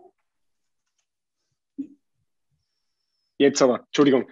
Ähm, äh, ganz kurz gefasst, Herr Tiedemann, wenn wir die Technologien trennen, äh, reden wir über Fiber, stimme ich 100% mit ihm überein. Ja, wenn ich in eine Zukunft denke, äh, wo eine ONT in jedem Haushalt vorhanden ist, ich habe Ethernet-Board, ich stecke mich an, äh, ich provisioniere mein Service als Endkunde am Sonntagnachmittag, äh, äh, Self-Install, ich drücke am Knopf, das rennt, ich bin voll bei Ihnen, das ist auch unsere Vision. Da möchte ich hin. Es wird für mich einfacher, es wird für mich schneller, die Kosten gehen runter. Das ist hundertprozentig teile ich mit Ihnen. Ja. Auf Kupfer kann ich Ihnen leider nicht zustimmen. Warum nicht? Ja, die Technologie ist äh, äh, Jahrzehnte alt und das ist unser Problem. Mit dem Bedarf der speziell der letzten Jahre reizen wir das Kupfer mittlerweile bis über seine Leistungsgrenzen aus. Das heißt, die Probleme, die wir haben, sind vielfältig. Das geht, äh, das fängt an bei äh, speziell in alten Häusern. Äh, die, die Telefonleitungen liegen parallel zu den Elektrikleitungen, legen das ganze Haus lahm, nur wegen den Indifferenzen, die sie schaffen. Ähm, die, ich, ich kann beim Kunden, wenn das Modem nicht von uns kommt, ich kann es nicht messen. Der Kunde kann bei uns anrufen, ich kann ihm nicht einmal helfen, ich kann ihm nicht sagen, warum es nicht geht, ich kann ihm nicht helfen. Ähm, und, und das sind für mich die zwei Welten. Solange wir auf Kupfer sind und wir reden bei uns in Österreich auf einem Kupfernetz, wo wir von zwei Megabit, zwei, nicht 20, von zwei Megabit bis 300 Megabit alles anbieten. Weil wir halt als Telekom äh, in ganz Österreich, äh, vom Bauernhaus in Tirol äh, bis zur Eigentumswohnung in Wien überall vertreten sind. Und ich muss das ganze Spektrum abde abdecken und um vor allem in diesen unterschiedlichen Grids mit den unterschiedlichen Standards, wir haben es vorher gehört, Vectoring, äh, wie Plassen, wie sie alle heißen, um mich dort bewegen zu können und dort den Kunden auch wirklich eine Leistung erbringen zu können, bin ich noch darauf angewiesen. Fiber wird das Spiel ändern, da bin ich bei Ihnen. Darf ich da ganz kurz einhaken bezüglich, Sie können es dann nicht sagen, ähm, kann das dann der Hersteller ähm, des Routers sagen oder das Endgerät sagen, woran es hapert? Herr Giersig, Herr Tiedemann, können Sie dazu? Und dann kommen wir zu Ihnen, Herr Pappe. So, ähm, ich sage das gerne aus, aus Endkundensicht. Ähm, ich bin mit, ich, ich habe da einen Mitbewerber vom, vom Herrn Stock, einen Lillanen, als meinen Provider. Und ähm, der hat mir da eben ein Kastel hingestellt und hat, das, hat dieses Service sauber getrennt. Das heißt, er ist wirklich bis zu dem Kastel äh, verantwortlich, kann auf dem Kastel nachschauen, wie gut ist meine Qualität, wie gut sind meine Signalstärken. Das heißt, da kann, kann der Service, äh, die Service-Mitarbeiter in den Zentralen können sagen, äh, ja, ihre, weiß nicht, ihre, sozusagen die Verstärkung auf ihrer Leitung passt nicht. Wir schicken jemanden, der das noch ein bisschen höher dreht oder so. Das hatte ich mal. Ähm, und für mich ist das aber auch nicht, nicht wirklich äh, relevant. Also diese Diskussion, äh, die da jetzt zwischen dem Herrn Stock und dem Herrn Tiedemann waren, die interessieren mich als Endkunden auch gar nicht. Sondern ich möchte da einen gewissen Service haben und den möchte ich, äh, äh wie wir es vorher kurz diskutiert haben, äh, unter, in, unter, in unterschiedlichen Levels haben. Also einen ganz einfachen, ich möchte einfach da mein, weiß ich, mein Smart TV anstecken können, meinen PC. Ich möchte mich übers Handy verbinden können. Das heißt, ich brauche da nicht nur das, äh, das nackte Metall sozusagen, sondern ich brauche da eben einen DHCP-Service, der mir meine internen Netzwerkadressen managt. Ich möchte vielleicht äh, da auch ein, ein bisschen an ähm, etwas, etwas filtern können, etwas blockieren können. Äh, das sind sozusagen die, die Basic-Sachen. Und dann äh, gibt es da eine ganze Servicepalette. Äh, der Herr Tiedemann mit seinen äh, Kasteln, um das jetzt einmal so zu sagen, bietet da an, dass ich da ähm, ähm, äh, IP-Telefonie machen kann. Das heißt, ich stecke an, ihr, an seinen Kasteln einfach ein, eine, ein Telefon an und telefoniere damit äh, äh, in, übers Internet. Äh, gibt es auch. Also, ähm, oder ich betreibe oder ich stecke einen, ähm, einen USB-Stick an, wo ich Dateien drauf habe und habe einen Webserver und kann von überall im Internet äh, auf diese Dateien zugreifen. Also das sind sehr, sehr unterschiedliche äh, Varianten von Service-Leveln, die ich da machen kann. Ich kann da eben zu Hause schon teilweise einen eigenen Server betreiben, wenn mir äh, der Provider eben zum Beispiel eine fixe IP-Adresse äh, gibt, äh, kann ich das machen. Dann bin ich aus dem Internet immer unter derselben Adresse erreichbar. Dann kann ich da einen Name-Service einrichten. Dann kann ich tatsächlich da äh, für meine Familie, weiß ich nicht, meine Fotos auf einen kleinen Webserver stellen und das zu machen. Also diese, diese, diese Service-Gedanken ja. ist, ist, ist, ist eben das, wo, wo ich darauf, äh, äh wo ich äh, äh, da, den, den ich eben da hervorstellen will. Und ja. den, also meiner Meinung nach eben, und, und um zurückzukommen, äh, genau, ähm, auf, den, auf das ursprüngliche, ähm, dieser, dieser sozusagen diesen definierten Netzzugangspunkt, der bedeutet ja auch eben, weil es im Chat angesprochen wurde, äh, hinsichtlich Sicherheit. Ähm, ich muss ja den Provider quasi bis zu, bis zu mir, bis in meine Wohnung, bis zu meinem Netzanschlusspunkt kommen lassen, damit er das bis dorthin auch absichern kann. Das heißt, das Kastel äh, kann eben nicht nur ein, ein, eine einfache Anschlussdose sein, sondern äh, das muss auch äh, für die Sicherheit bis zu mir, bis zu, bis zu meiner Steckbuchse verantwortlich sein. Und das geht nur, wenn eben der Provider da entsprechende Sicherheitsservices von seiner Seite drauf laufen lässt. Also diese, diese mhm. Kastel müssen eine gewisse Intelligenz haben. Äh, da wird man ein VPN drüber laufen lassen, die wir haben eine Firewall eingebaut, etc., etc., an die ich als Endkunde gar nicht äh, herankommen sollte, äh, können sollte, um da auch gar nichts verstellen zu können. Was da in dem Hinsicht dann die Routerfreiheit ist, ist, dass ich eben einen ein gescheites Kastel äh, nehmen kann, mich anstecken kann und jetzt äh, dem, dem Kastel vom Provider sagen kann, du pass auf, ich kümmere mich jetzt äh, sozusagen ein bisschen selber darum, schalte mir bitte äh, mein Kastel jetzt für, fürs ganze Internet frei, dass das äh, vom ganzen Internet zu sehen ist, damit ich dann eben diese Services wie, wie einen, eine kleine Webseite oder eben IP-Telefonie eben auf meinem eigenen Router, den ich angeschafft habe, machen kann. Also das ist aus, aus meiner Sicht so diese, diese Sache, wo ich, wo ich sagen kann, ähm, die Diskussionen gehen, glaube ich, ein bisschen in die falsche Richtung, weil wenn man da anfängt zu diskutieren, äh, auf welchem untersten Level man sich anschließen darf, äh, sind wir aus Konsumentensicht eigentlich schon ganz daneben. Ja. Ja, also vielleicht, wenn Sie, Herr Giersich, wenn Sie erlauben, dass ich kurz auf Sie antworte, das habe ich ein großes Verständnis, dass es für normale Anwender äh, ist es unsere Aufgabe als Hersteller, die ganze Komplexität, die sich ähm, im Netzzugang ergibt, dass wir das eben ähm, letztlich, dass das unsere Aufgabe ist, die äh, gar nicht dem endanwendenden Leuten zu präsentieren. Ne? Die sollen einfach die, die Services so nutzen können, telefonieren, IPTV, Internetzugang, und dann eventuell weitere Services, die da künftig kommen. Manche machen inzwischen WLAN als Service, manche machen Smart Home als Service. Also es gibt ja eine ganze Leiter an, an Services, die von manchen Internetanbietern inzwischen schon angebunden werden. Ich würde trotzdem, wenn Sie es mir erlauben, diese Leiter in diesem, in diesem Kommunikationsding nochmal ganz runtergehen. Mir geht es ein bisschen ja auch um Strukturfragen und ich will, ähm, wie gesagt, ich verstehe auf, äh, dadurch, dass wir auch mit vielen Internetanbietern zusammenarbeiten, sehr eng auch zusammenarbeiten, sind uns die Probleme ja durchaus bekannt. Andererseits äh, denke ich auch, äh, wird vielleicht manchmal von der Anbieterseite unterschätzt, die Ambitionen und die Energie und das Engagement und auch letztlich das wettbewerbliche Interesse der Hersteller, eben gerade die Qualität und die Einfachheit und die Zuverlässigkeit nach oben zu bringen. Also wir haben wahrscheinlich eigentlich dasselbe Optimierungsziel, ne? also Anbieter genauso wie Hersteller. Und ich glaube, es wäre verkehrt, den Herstellern grundsätzlich irgendwie zu unterstellen, die wollen nur Castile verkaufen, die wollen zufriedene Kunden haben, genauso äh, wie, wie auch die Anbieter. Da haben wir ein gemeinsames Interesse und beide ringen wir um das Zustimmung seitens des Kunden.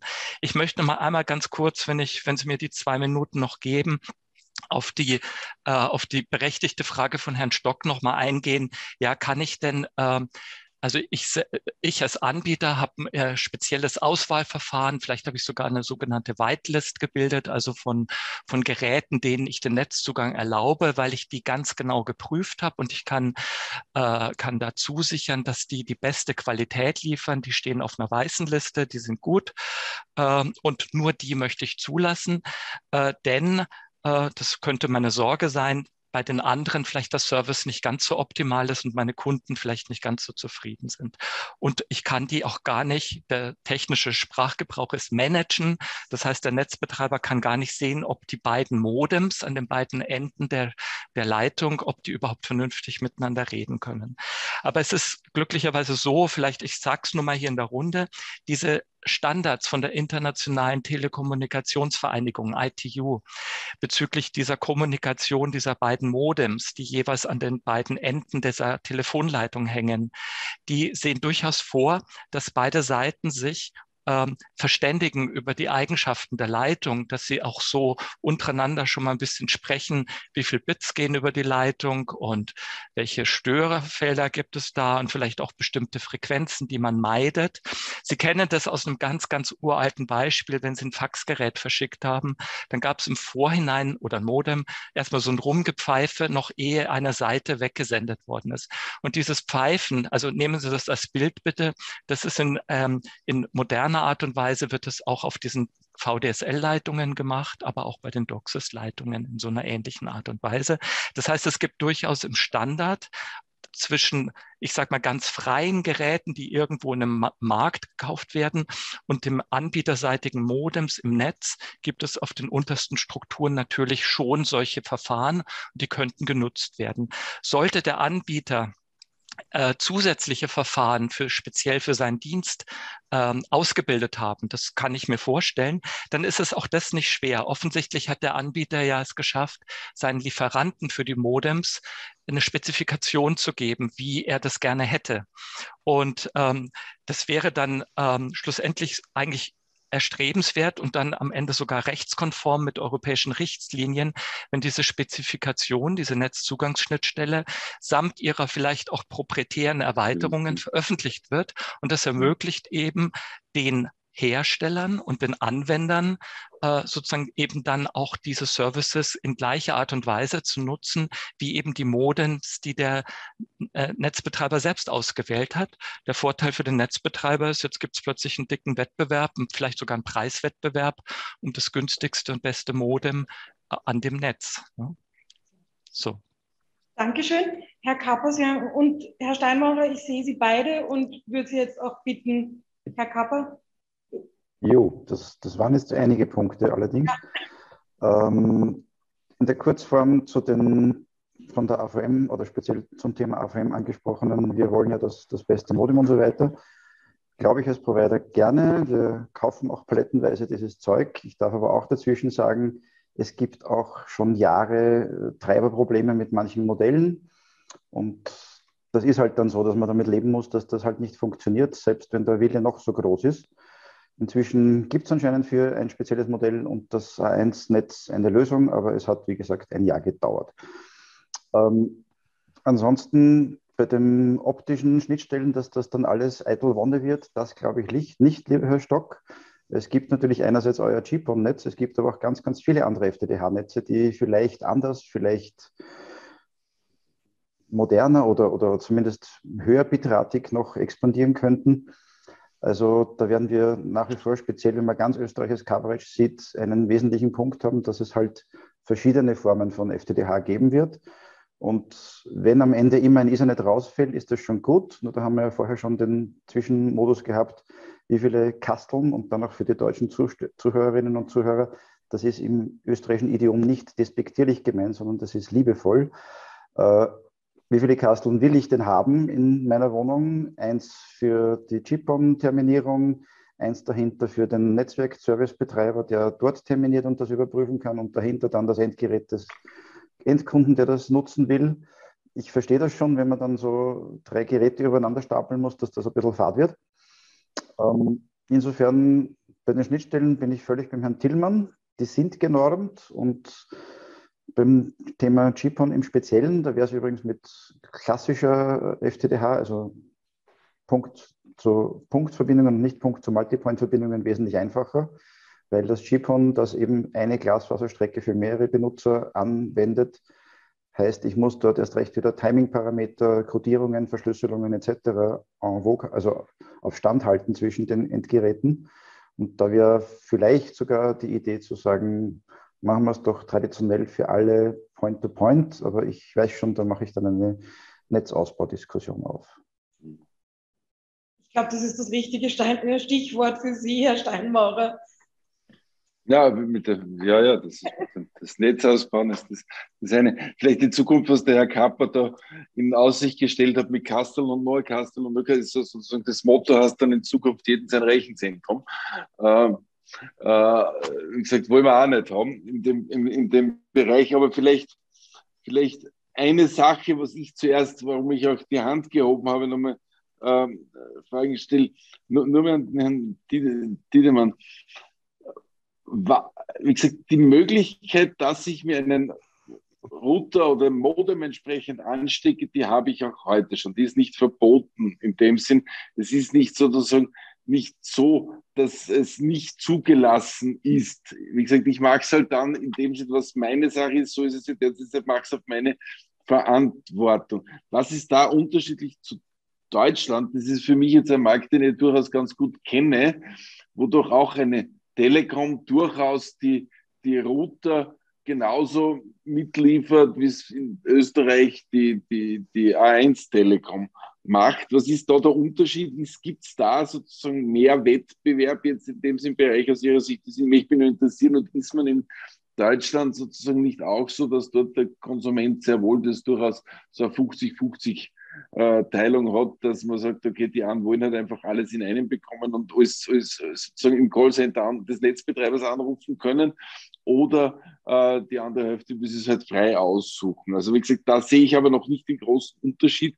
Wie gesagt, man, es besteht bei uns sicherlich die, das nehme ich schon mit, die, also die, die Chance und es ist Potenzial nach oben, dass man hier mehr freie Router äh, in den Markt bringt, aber es ist sozusagen eben aus meiner Sichtweise nicht, nicht ver, äh, verboten. Und die zweite mhm. Sache auch noch, was da noch wichtig, was ich gerne noch äh, sehen würde, okay, diese Schnittstellen veröffentlichen, vielleicht der Stock, gibt es dort Einwände eigentlich seitens der Betreiber, dass man diese Schnittstellen veröffentlicht. Weil das ist natürlich, je, je, wenn ich einheitliche Schnittstellen habe und wenn ich die Spezifikationen fürs Netz weiß und dann am Markt alle potenziellen Anbieter äh, das, äh, sozusagen diese Schnittstellen übernehmen können und damit sicherstellen, dass sie die Kunden am Markt auch die passenden Geräte kaufen können, was spricht dagegen? Gibt es da Sicherheitsbedenken dagegen oder sonst irgendwas? Das würde mich nur von dem her interessieren. Und zu dem letzten Thema, wo Sie mir sozusagen den Ball gelegt haben, Frau Steinbrenner, äh, ja sicher, ich meine, mit Glasfaser kann es besser werden, aber wie der Herr Kapper sagt, es wird wahrscheinlich auch nicht jedes Problem gelöst werden. Aber wie gesagt, das ist natürlich großes Ziel. Wie gesagt, Sie kennen die Zielsetzungen 2030-Strategie und so weiter, dass wir im Glashausaufbau, im Take-up-Rate entsprechend weiterkommen. Und äh, wie gesagt, die Tendenz zeigt ja auch in Österreich, dass es in die Richtung geht. Nur viel zu wenig, aber wie gesagt, wir, wir tun alles, damit das schnell dauert. Aber wie gesagt, das Long-Tail-Business, das dauert eine Zeit und dann wird es hochziehen. Äh, äh, und da bin ich überzeugt, also 2030 die Zielsetzungen lassen sich schon erreichen. Wobei wir aber eins berücksichtigen müssen, und das ist das österreichische Spezifikum, das wir haben. Wir haben hier eine sehr starke, gerade im Internet auch Mobilfunkpenetration. Wir sind eines jener Länder, das die höchste Anzahl an Cubes hat und äh, ich sage selbst Unternehmen, wenn ich jetzt nur sozusagen rückblicke, was während der, der Corona-Zeit passiert ist, wie alle plötzlich ins Homeoffice gewechselt sind. Was haben die Unternehmen mit ihren Mitarbeitern gemacht? Und Herr Stock, Sie wissen das vielleicht sozusagen aus Ihren eigenen Zahlen, aber mein Überblick, mein Eindruck war, die, selbst die Firmen haben sehr, sehr schnell viel Cubes für ihre Mitarbeiter zur Verfügung gestellt, um hier sozusagen dort WLAN zu Hause schnell und einfach bereitzustellen und, und auf der Basis äh, äh, entsprechend die Schnittstelle gesagt. Das ist das Modem natürlich fürs WLAN im Haus natürlich wieder sozusagen äh, das, die, die, die mobile Version, das Wichtige. Und bei der Technologie, Herr Giesing hat das ja gesagt, sozusagen ist es relativ einfach, das herzustellen. Also, und die Routerfreiheit auch sicherzustellen. So, das war jetzt in Summe äh, äh, ein Potpourri von meiner Seite. Äh, und Herr Stock, möchte so möchte ich das stehen lassen. die Frage von Herrn Steinmaurer bezüglich der Mobilfunkpenetration kurz antworten und dann würde ich nochmal den Herrn Kapper kurz bitten, das Wort zu erklären. Sehr, sehr gerne. Es waren ja zwei Fragen dabei. Das eine ist äh, Offenlegung der Schnittstelle. Äh, um ehrlich zu sein, die ist den meisten oder den gängigsten Lieferanten bekannt, äh, auch der AVM. Ähm, da wir zufällig auch äh, einiges an Equipment von, äh, von ihnen beziehen. Ähm, das heißt, es ist bekannt, äh, der Teil, äh, den ich nicht offenlegen würde, und da gibt es schon einen Teil, wir bemühen uns ja nicht nur darum, dass das Modem geht, äh, sondern wir haben ja im Hintergedanken, uns auch bei der Servicequalität abzuheben. Und die geht tiefer als bis zum Modem. Also wir haben vorher über das Heimnetzwerk, über Security und dergleichen gesprochen. Das heißt, ich habe natürlich das Interesse, hier mehr zu tun. Aber natürlich, also da bin ich dann wieder emotionslos, wenn der Kunde sagt, er möchte auf das verzichten, ähm, solange es geht, äh, äh, denkbar. Aber wie gesagt, wir machen auch kein großes Geheimnis aus der Schnittstelle selber. Ähm, zum Absatz, also wir haben beides gesehen. Es ist natürlich sowohl die Anzahl an Cubes in die Höhe gegangen, als auch äh, die Bandbreiten, äh, äh, Speed-Upgrades äh, und, und die Neuanschlüsse. Äh, und äh, genauso wie Sie sagen, Herr Steinmauer, es ist halt Österreich ist ein, eigenartiges Land, was das betrifft, weil wir haben einen irrsinnig guten Mobilfunkausbau äh, und hinken auf der Festnetzseite halt hinterher.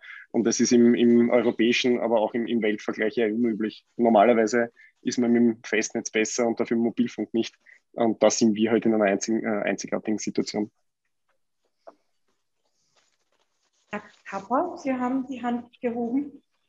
Ja, Speziell das Stichwort Schnittstelle ruft natürlich reflexartig ein bisschen Leiden hervor, weil die alternativen Anbieter, die auf dieser virtuellen Entbündelung bei der A1 drauf sitzen müssen, äh, wenn wir da eigene Modems einsetzen wollen, dann müssen wir ins Labor. Das Labor kostet Geld am Tag, nicht, nicht einmal so wenig. Und man braucht auch eine, mehr als ein Modem, sagen wir es einmal so, zum Testen, so eine ganze Batterie an Modems zum Testen muss sich dann über die Firmware-Versionen etc. einigen, weil ansonsten kann es einem passieren im Störungsfalle, dass man als Alternative dann quasi von der Seite A1 Betreuung hört, ja, zuerst einmal ein normiertes Modem anstecken, dann reden wir weiter. Was ich technisch natürlich verstehe. Allerdings gibt es jetzt noch die Bonusrunde. Es gibt die Möglichkeit für ANBs diese Tests zu machen und sie dann nicht zu veröffentlichen. Das heißt, wir wissen teilweise gar nicht, welche Modems sind denn offiziell zertifiziert. Es gibt zwar eine generelle Whitelist, aber die ist eben nicht das Ende der gesamten Liste der überprüften Geräte. Und da glaube ich, sollte man einerseits auf der einen Seite, aber natürlich auch von Regulatorseite und vielleicht sogar von Herstellerseite darauf hinarbeiten, dass man diese Dinge tatsächlich public für alle sichtbar macht und hoffentlich auch die Testmöglichkeiten für die Hersteller so einrichtet, dass das nicht ewig schwierig ist, Labortermine zu kriegen, plus die dann zahlen zu müssen. Also da stelle ich mir zum Beispiel einen Prozess vor, zu sagen, wir schicken euch Hausnummer 32 Modems. Also wenn ich jetzt ein Hersteller wäre, so ein, ein aus dem deutschen Verband, würde ich sagen, liebe 1, hier 32 Modems zum Testen. Viel Spaß. Hier ist unsere Telefonnummer. Techniker für Rückfragen, Probleme etc. steht bereit. Das wäre mir so der eine Wunsch. Und Richtung Regulator würde ich mir natürlich wünschen, dass wir auch nicht nur den Fiber-Take-Up nach oben bringen, sondern eben auch einen Fiber-Take-Up bringen, der für alle Netzbetreiber nutzbar ist. Wir reden zwar einerseits immer von den Services, aber es geht darunter schon um die Infrastruktur.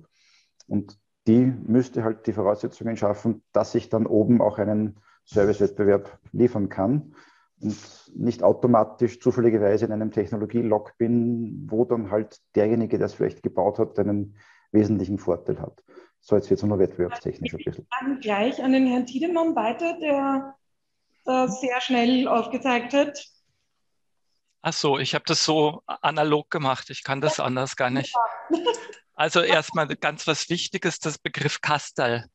Ähm, er ist hier auch in Deutschland sehr bekannt und bei mir persönlich, also meine Mutter kommt aus Graz und von daher habe ich äh, sprachliche Erfahrung durchaus und auch zum Skifahren bin ich gern da und auch sonst bin ich privat gern in Wien und hatte einen ganz tollen Professor aus Herrn Wien, aus Wien, den Herrn Professor Zeilinger, den kennen Sie sicher der uns aufweist, dass man gerade bei der Optik, und da blicke ich ein bisschen in die Glasfaser, da müssen wir schon schauen, dass wir die Glasfaserinfrastruktur gut bauen, weil was der Herr Professor Zeiliger und sein Team in Wien da so zeigt und auch in Innsbruck, das ist schon Wahnsinn, wo, wo es in 50 Jahren vielleicht mal, wo wir sein werden. Aber lassen Sie mich vorn bitte anfangen beim Herrn Steinmaurer. Vielleicht, wenn Sie es erlauben, dass ich Sie jetzt nochmal in der Form als regulierende Behörde nochmal ein bisschen ähm, jetzt ähm, aus Verbandssicht. Also ich nehme jetzt mal, wie gesagt, wir sind der Ver Verband, wo viele Unternehmen teilnehmen. Und da muss ich Ihnen sagen, es wäre jetzt nicht möglich für ein, eines unserer Mitgliedsunternehmen. Das sind ähm, Leute, die machen Router seit 20 Jahren. Die verwenden dieselben Chips für DSL, die wir auch verwenden dieselben Treiberbausteine da drin, die Software. Die haben aber halt die speziellen Erfordernisse für ihre Firmenkunden. Und die können nicht ohne weiteres ihre Router an äh, kleine Firmen in Österreich verkaufen. Die, das Produkt ist nicht auf der Whitelist. Um auf diese Whitelist zu kommen, haben die eine unangemessen hohe Barriere zu überwinden. Eigentlich ist es gar nicht möglich. Wahrscheinlich müsste der Herr Kapper, wenn er viel Zeit hat, und, und die irgendwie gern hat, müsste die sozusagen ins Programm aufnehmen, müsste wahrscheinlich bei der A1 vorstellig werden und dann könnte der das sozusagen stellvertretend für die machen, damit die eben den Rechtsanwalt, äh, und den ja vielen kleinen mittleren Unternehmen tolle äh, äh, robuste Hardware im DSL-Umfeld zu verkaufen. Kabel habe ich bereits gesagt, Herr Steinmauer, das äh, halte ich für ausgeschlossen, dass Sie ein Modem aus Deutschland in Österreich äh, zum Laufen kriegen. Das ähm, denke ich ist nicht der Fall. Insofern würde ich schon sehr äh, stark nochmal kritisch hinterfragen, ob die Aussage richtig ist, dass grundsätzlich eine Wahlfreiheit in Österreich besteht. Meiner Meinung nach besteht es nicht. Die Firma AVM mag da in einer besonderen äh, Situation sein, weil sie zeitgleich eben auch Provider beliefert. Das äh, sind wir, freuen wir uns auch sehr und wir freuen uns vor allem sehr, dass europäische Hersteller heute in der Liga spielen. Ich möchte es jetzt nicht zu laut sagen, aber es kann gut sein, dass auch die österreichischen Netzbetreiber unter starken Preisdruck geraten und irgendwann nur noch Huawei oder ZTE einkaufen.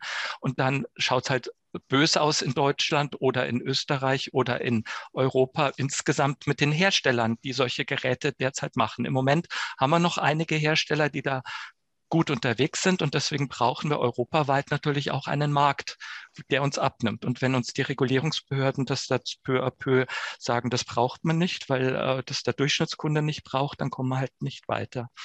Zur Wahlfreiheit, ich nehme gern das deutsche Beispiel, entschuldigen Sie es, ich bin jetzt von Graz weggewandert, ich bin jetzt in Berlin daheim, also ich bin da hier im Epizentrum der deutschen Politik.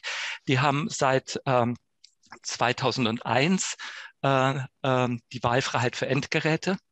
Das ist beim dortigen FTEG niedergelegt. In Österreich ist das so ähnlich. Das ist quasi die Fortschreibung der RTTE-Richtlinie. Als absehbar war, dass es in Deutschland Probleme gibt mit dieser Wahlfreiheit, wurde das äh, präzisiert die europäische Rech äh, Rechtsprechung dahingehend, dass der Netzabschlusspunkt passiv ausgeführt werden muss. Nur so hat der Deutsche Bundestag mit hundertprozentiger Zustimmung im Parlament beschlossen, dass äh, der Netzabschlusspunkt in Deutschland passiv sein muss. Damit konnten auch die Kabelnetze geöffnet werden für Wettbewerb und auch die Glasfasernetze und auch die GPON-Netze. Und das ist ein großer Erfolg. Ich hatte Ihnen gesagt, ich schätze mal, dass irgendwie zwischen 40 und 50 Prozent der Router durch Kunden gekauft gekauft werden und oft einfach nur, weil das ersetzt wird. In Deutschland ist vielleicht anders als in Österreich. Äh, da kriegen sie es nicht nur umsonst, sondern da zahlen sie oft dem Service Provider halt noch ein kleines Upselling, irgendwie ein paar Euro im Monat für das Gerät. Und wenn man das natürlich zusammenrechnet und wenn man dann ähm, nicht so viel Geld hat, dann schaut man halt, kauft man sich einen günstigen Router, den man aber einmal bezahlt und ist dann glücklich. Und das war eben der deutschen Politik damals eben wichtig, das zu erhalten. Deswegen haben wir einen großen großen Markt hier, der gibt es auch in Italien. In mhm. Niederlande bahnt sich gerade an. Auch die schreiben sozusagen ihr TKG äh, gerade neu und da passiert das jetzt auch demnächst. Das erwarten wir zumindest. Es gibt noch weitere Mitgliedsländer in Europa, oh. die das machen. Herr Tiedemann, da, zum, da, ja. das einhaken, weil Sie gerade vorhin in Deutschland gesagt haben, man musste schon dazu sagen, das war 2001 beschlossen, dass es dann wirklich zu einer Wahlfreiheit kam, sind dann noch mal ein paar Jahre ja. vergangen. Also, nee. hat schon mal ein, äh, pardon, das hatte ich vergessen zu erwähnen. 2016 wurde das im Bundestag bekräftigt. Entschuldigung, da habe ich zu schnell geredet. Ein ja. bisschen Zeit. Und wir sind ja jetzt auch, ähm, was das neue Telekommunikationsgesetz betrifft, das auf dem Weg ist, wo, ja. weswegen wir ja auch heute diskutieren. Also ja. da ist man ja auch ein bisschen schneller dran. Ähm, ich würde noch gern bitten, den Herrn Steinmaurer dazu ähm, darauf einzugehen. Und wir hätten nämlich, weil grundsätzlich ist es ja, dass wir sehr viele Anforderungen von vielen Seiten haben, die jetzt eigentlich alle bei Ihnen landen, Herr Steinmaurer, ähm, mit einer langen, langen Wunschliste eigentlich, was dieses kommende Telekommunikationsgesetz und ähm, das ich muss aber dazu sagen, ich muss aber dazu sagen, dass ich es nicht mache, sondern nur vollziehe. Ja? Ich, ich bemühe mich natürlich, die eine oder andere Meinung dazu zu haben, aber entwerfen uns das Bundesministerium für Landwirtschaft, Tourismus und Regionen und beschließen tut das Parlament. Das möchte ich nur vorwegschließen. Aber wie gesagt, natürlich haben wir zu einigen Themen durchaus äh, Meinungen, die, die auch einfließen können. Korrigieren Sie mich bitte, wenn ich es falsch verstanden habe, aber sieht das Telekommunikationsgesetz nicht von Ministerin Köstinger auch vor, dass die Entscheidung dann ähm, in die Hände der RPR wandert? Ja, den Netzabschluss, den Netz, nicht, ich sage, es fällt in die RTR, der, die dann in Abstimmung mit der Com Austria eine Festlegung des Netzabschlusspunktes äh, per Verordnung machen kann. Und wie gesagt, das muss man entsprechend, wie gesagt, das kann ich vorweg sagen, da passt auch das, was der Herr Dielemann gesagt hat in die Richtung. Wie gesagt, äh, eine, wie gesagt, da möchte ich ja ganz kurz gleich, gleich darauf einsteigen. Sozusagen, Herr Dielemann hat gesagt, okay, in Deutschland gibt es da verlangen, da verlangen die, die Telekoms Geld für die Router und schenken es nicht her, anders als wie in Österreich. Oft deswegen äh, ist sozusagen auch der Drang der Kunden, dass sie sozusagen dort auch selbst Geräte wählen, größer. Erster Punkt, wie gesagt, das ist vielleicht der Marktspezifikum mit, mit, mit der Möglichkeit, wie gesagt, wenn es bei uns dazu geschenkt wird, Sie kennen den typischen Österreicher, wenn er das Geschenk kriegt, nimm es einmal. Ne? Das ist einmal die, die, die, die Sache, die vielleicht auch, warum die Leute doch eher, na nehmen wir mal was halt. Dann werden sie eh unzufrieden und dann kaufen sie selber was dran und das machen sie, wie der Herr Kier sich gesagt hat, das dann, dann kaskadiert noch nachschalten und dann wird kann man sozusagen sein eigener Herr Das ist die erste Sache. Wie gesagt, die, die äh, sozusagen diese Aufforderung des betreffend, dass das Modem aus Deutschland im Kabel nicht funktioniert. Wie gesagt, Herr Diedemann, das schauen wir uns wirklich genau an. Das ist sicherlich was, was wir uns, wenn wir über eine Verordnung nachdenken, durchaus durchaus auch mit berücksichtigen, wo es hier, ob es und wo es hier entsprechende äh, Lücken gibt, die einer Regelung zugeführt werden müssen. Das kann ich von dem her sagen. Und eine Sache, das möchte ich in dem Sinn schon dazu sagen, Sie haben ein spezielles Problem gesagt, wo Sie hier von, von Routerherstellern das Problem sehen. Wie gesagt, spezielle Lösungen bei Firmen können nicht angeboten werden. Wie gesagt, das ist halt, wie gesagt, das ist der, der Spezialteil, das möchte ich einfach nur mal rausgehen. Da ging es eben nicht, wir haben hier gesprochen über die, die, die ich sag, den Durchschnittskonsumenten. Äh, äh, das heißt nicht einer, der gänzlich sozusagen weg von jeder Technik ist, aber sozusagen, ich nehme mich immer durchaus als, als, als Beispiel her, technikaffin, durchaus schon länger in der, in der Branche. Also ich hab, verstehe ein bisschen was von Telekommunikation durchaus äh, und, und äh, gehe aber, bin aber natürlich auch ein sehr bequemer Mensch und, und möchte es möglichst einfach machen. Ich bin ja so ein Plug-and-Play-Typ in dem Bereich. Äh, und da, das ist sozusagen der Konsument, von dem wir reden. Ein bisschen was kann man schon von ihm verlangen, aber wie gesagt, das ist die, die, die, die Sache. Spezielle Firmengrundlösung, das ist sicherlich auch ein Thema. Da muss man das im Einzelfall anschauen von den Unternehmen, von denen Sie sprechen und was da für Lösungen drinnen sind. Wie gesagt, was ich da eben immer wieder sehe, ist genau dieses Schnittstellenproblem, über das wir diskutieren müssen.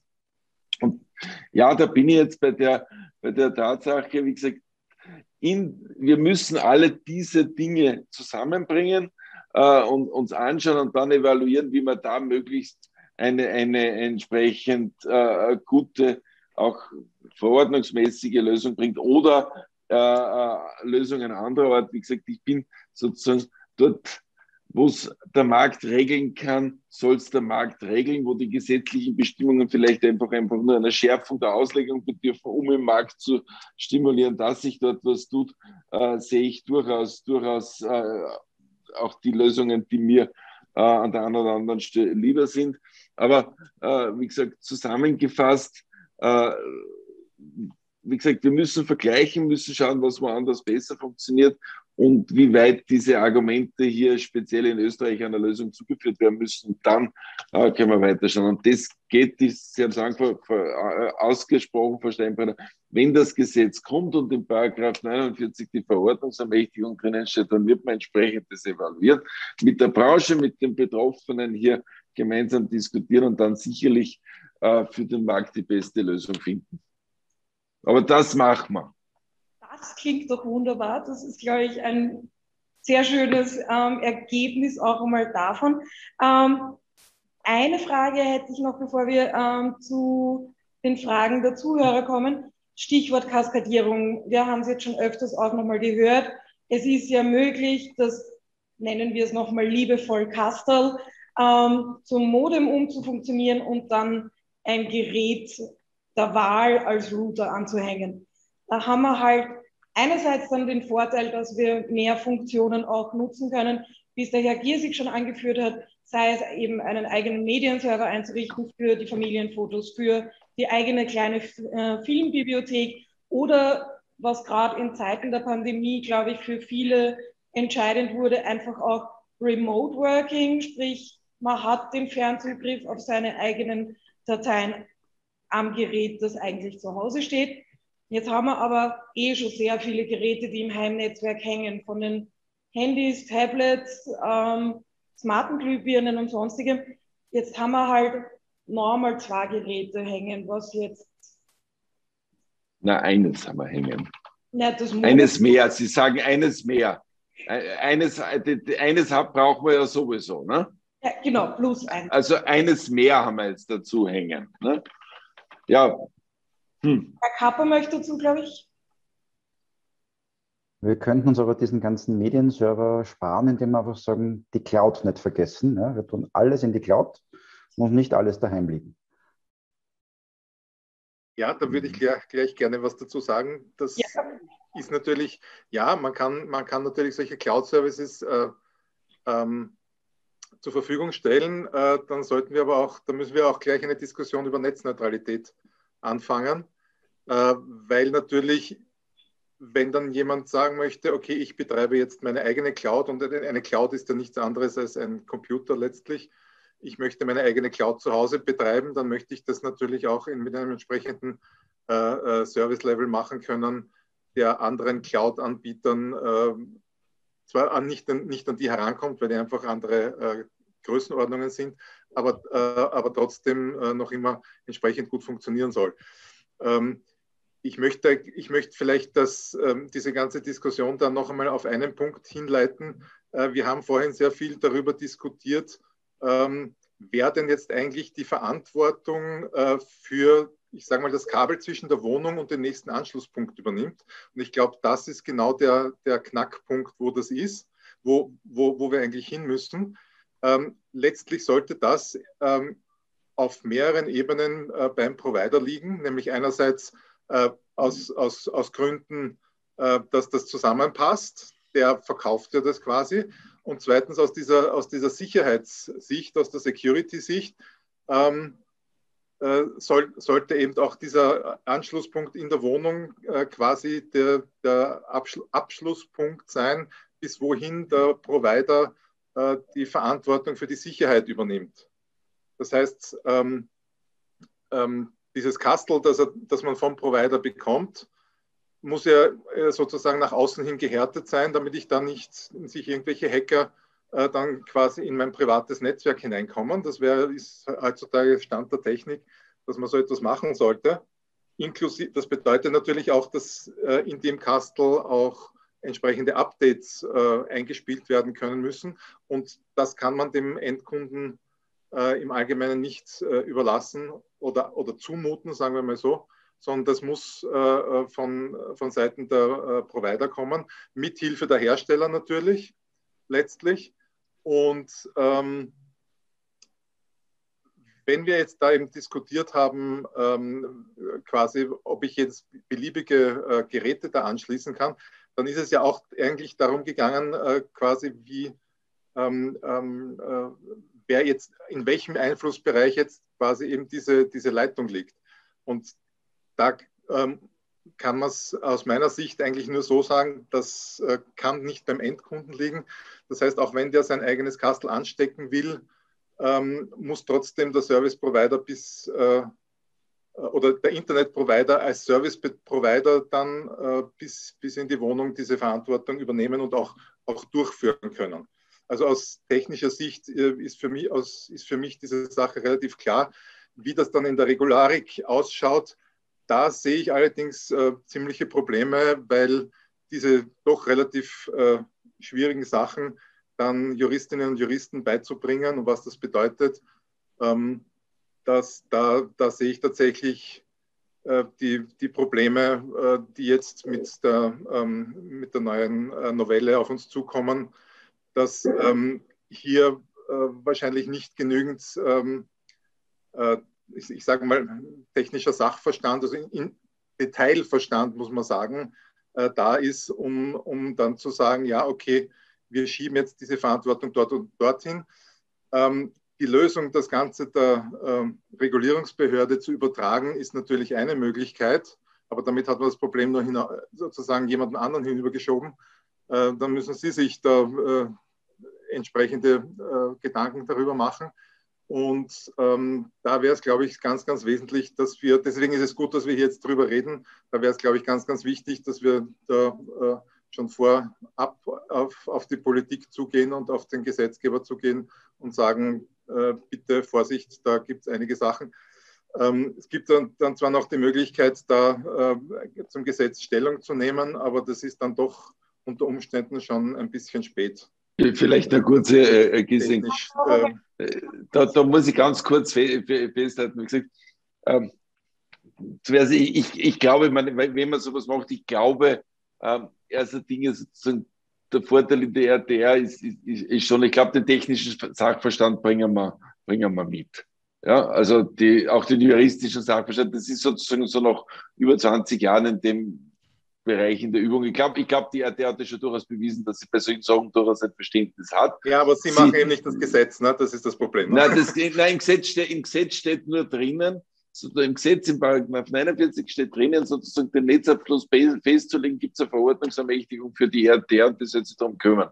Ich sage, die Ausstellung, die Spezifikationen und so weiter werden dann hier entsprechend zu machen, wobei wir zuerst einmal überhaupt schauen müssen, es kann eine Verordnung machen und kann die in Abstimmung mit der Com Austria. So wird es drinstehen. Das ist eine kann, das heißt, man muss jetzt erst einmal anschauen und dann muss man mit allen äh, entsprechend drüber, drüber sprechen. Also wie gesagt, das Gesetz ist, glaube ich, das Ding. Man wird sicherlich, wenn man so eine Verordnung macht, ganz breit diese Sache konsultieren müssen und eben auch die Experten äh, von draußen reinholen müssen dann Abwägung der verschiedenen äh, technischen Fragen treffen müssen. Und dann kann man zum Entschluss kommen, erstens, ob man überhaupt sowas machen muss, ob das gescheit ist und zweitens, ob, äh, ob und wie das geschehen soll. Also das sind sozusagen diese in dem Sinne ein kaskadierter Ansatz in dem Bereich. Ähm, das werden wir uns anschauen, wann man das, das, das Gesetz entsprechend hat. Äh, ich glaube, und wie gesagt, das ist die zentrale Frage, die sowohl juristisch wie technisch, die nur gemeinsam geklärt werden kann, ist das, bis wohin ist die Verantwortung und wann übernimmt der Konsument. Wie gesagt, wenn der Konsument, ich sage immer so, da gilt natürlich die Sache, meine, für das Update von einem Gerät sozusagen das der Anbieter nicht einmal kennt, dass der Anbieter schauen muss, dass das abgedatet ist. Vielleicht irgendein in den USA oder irgendwo in Deutschland, Niederlande gekauftes Gerät, sozusagen, dass dort für das Update sozusagen dann der nationale, äh, ich sage jetzt hier die A1 oder wer auch immer, sozusagen verantwortlich ist, dass dort das Update eingespielt ist, wo die nicht einmal wissen, dass solche Geräte im Netz sind. Das ist natürlich die Frage. Natürlich muss man sagen, inwieweit weiß der Betreiber, dass das Gerät im Netz ist, wie weit kann das gemacht werden und welche Verantwortungen übernehmen dann zum Beispiel Anbieter wie die AVM, dass sie sicherstellen, dass über den Netzbetreiber diese Updates gemacht werden. Also wie gesagt, da muss man schauen, wer ist wo verantwortlich. Der Aber Konsument. glaube ich, ja auch Herr Stock schon vorher auch ja. etwas sagen. Ja, nein, ich bin eh schon ruhig, aber wie gesagt, das sind nur die Fragen, die man sich halt dann da entsprechend stellen muss. Zwei, zwei Gedanken, ohne dass wir anfangen, uns im Kreis zu drehen. Ähm, also äh, zu Herrn Giesig, was Sie gesagt haben, da gibt es nur eine Komponente, die da mitspielt und das ist der Hauseigentümer. Das heißt, ich kann nur Verantwortung äh, für Dinge übernehmen, die mir gewährt werden. Ähm, und wenn ich in ein Mehrparteienhaus oder was auch immer rein will, dann muss, äh, muss man mich das lassen. Ähm, und ich nehme an, da wird auch die, die Regulierung, äh, wer sonst immer noch mitspielt, äh, nur bedingt Einfluss nehmen können, weil es ist mein Privatbesitz äh, und was ich dort reinlasse, obliegt mir. Ähm, das andere, was ich auch noch sagen wollte, ist äh, zu den Themen, äh, für was nehme ich Verantwortung und für was nehme ich keine Verantwortung. Also so wie ich es heute sehe, bin ich für unser Equipment verantwortlich. Das heißt, wenn ich mich als Betreiber grob fahrlässig ver äh, verhalte und es gibt einen Sicherheitsvorfall, man hört, man sieht und hört es immer wieder äh, in den Nachrichten, dann äh, bin ich verantwortlich dafür. Und darum habe ich aus meiner Sicht das größte Eigeninteresse von allen, sicherzustellen, dass mein Netz äh, von allen Knotenpunkten sicher ist. Ähm, und das, also was dann äh, detailliert Verantwortung, weil ich sehe da in, in Chat sind einige Fragen äh, garantiert. Äh, ähm, irgendwer hat zu mir mal gesagt, äh, wenn ich eine Garantie will, äh, dann muss ich im Elektrofachmarkt irgendwas kaufen. Ähm, garantiert, äh, garantierte Sicherheit ist schwer, aber das, was ich äh, mit vollem Bewusstsein aus meiner Sicht sagen kann, ist, dass wir alles Menschenmögliche daran setzen, unser Netz sicher zu halten. Herr Kapper? Dankeschön. In, in dieses Horn stoße ich auch nochmal und sage aber nur dazu, wenn der, die sein eigenes Endgerät kauft und einsetzt, Verantwortung klarerweise beim Konsumenten, bei der Konsumentin, kann aber auch in Folge heißen, dass der Provider rein aus Netzsicherheitsgründen, also Hausnummer, das Modem wird gehackt, ist plötzlich eine Plattform für weitere Angriffe, vielleicht wieder im Provider-Netz selbst. Damit muss man rechnen, dass das dann abgedreht wird. Mhm. Man wird zwar den Kunden versuchen zu kontaktieren, aber Sonntag 3 Uhr früh wird das Ding einfach mal vom Netz gehen und er kann sich dann gerne auf der Support-Hotline melden. Und dann wird man das erklären, warum das gefleckt wurde, etc. Aber das ist halt auch Teil mhm dass der mündige Konsument dann schon sehr mündig sein muss und die Konsumentin natürlich auch. Vielleicht, wenn Sie mir ungefragt, also auch bei uns ist für die Herstellerseite ist natürlich Sicherheit ein ganz großes Thema. Ähm, in dem Fall hätten wir gemeinsame Kunden und wir tun als Hersteller alles dafür, um äh, bekannte Sicherheitsprobleme auf unseren Produkten schnellstmöglich zu lösen.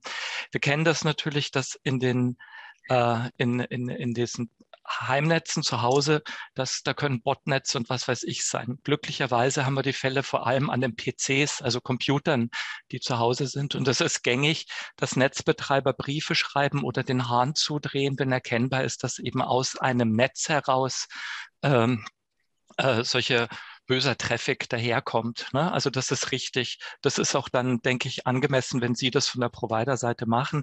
Ich wollte nur sagen, mir wäre jetzt nicht bekannt, dass wir hier im äh, äh, im großen Stil bei Routern das haben. Wir haben es allerdings bei Windows-PCs, die sind sehr, sehr, sehr anfällig halt für solche Geschichten.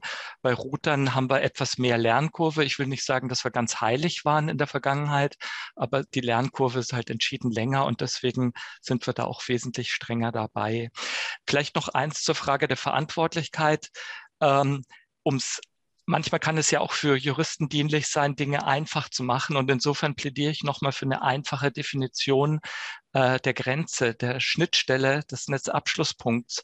Also wenn wir eine einfache äh, Definition machen, wo die, das öffentliche Netz endet und wo das private zu Hause beginnt.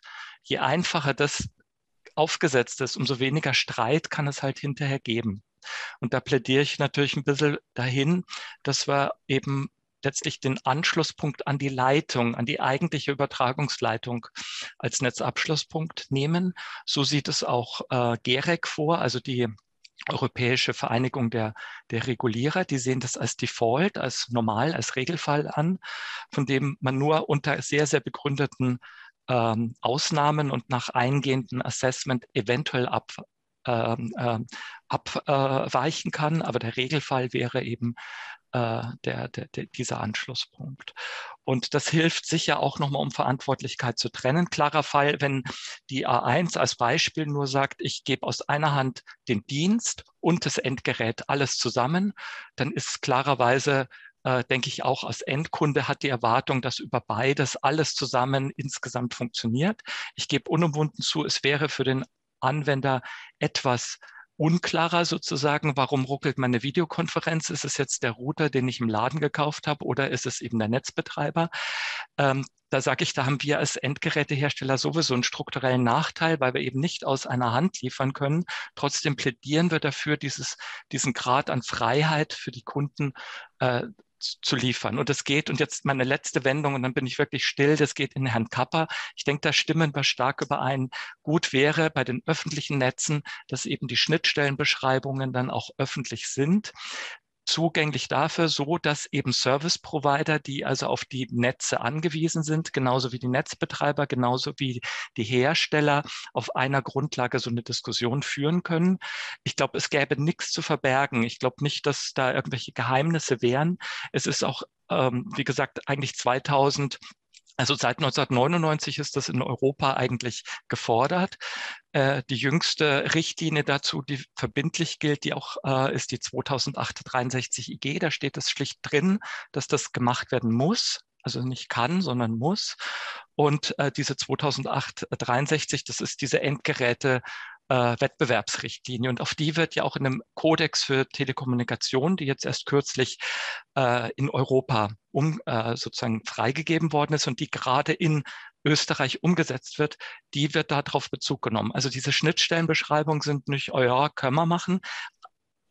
Europa will die haben, sozusagen die Öffentlichkeit soll Zugang haben zu diesen Schnittstellen. So, jetzt bin ich still. Dankeschön. Ähm, aber das ist ja auch, was der Herr Steinmaurer gesagt hat ähm, und auch bei Herrn Stock nachgefragt hat, ob das mit den Schnittstellen ein Problem ist und dass das etwas ist, das aufgrund dieses Gesprächs ja auf jeden Fall mit einbezogen wird. Ähm, eines. Ähm, Vielleicht nur eine kleine Sache noch auch an den Herrn Tiedemann, Frau Steinbrenner. Die GEREC-Empfehlung, die habe ich mitbeschlossen. Vielleicht beruhigt es ihn Herrn Tiedemann. Na, es, es, der Co-Chair kam ja aus Österreich. Also von daher, ist, wir wissen um Ihre Beiträge, ganz klar. Also Jeder Sie haben schon ein technisches Verständnis durchaus. Also das wollte ich damit auch ja, betonen. Ja, ja, ja, ne, unbenommen. Aber ich wollte es nochmal in meiner Lesart äh, ja. von meiner Seite aus. Es geht ja hier ein bisschen auch nochmal die Haltungen, die Positionen ein bisschen verdeutlichen und auch dass wir ein bisschen Verständigung zumindest haben zwischen allen den Unterschieden, dient so eine Diskussion ja auch ein Stück weit ein Verständnis für die andere Sicht. Genau. Ja, so war es gemeint, pardon. ich habe jetzt noch einmal durchgesehen und ähm, die Fragen, muss ich sagen, haben wir eigentlich im Gespräch dann on the fly gleich mitgenommen. Ähm, eine Frage bezieht sich auf die Auto-Updates, äh, also eine Frage bezieht sich auf die Updates. Wie wäre es mit ähm, Auto-Updates?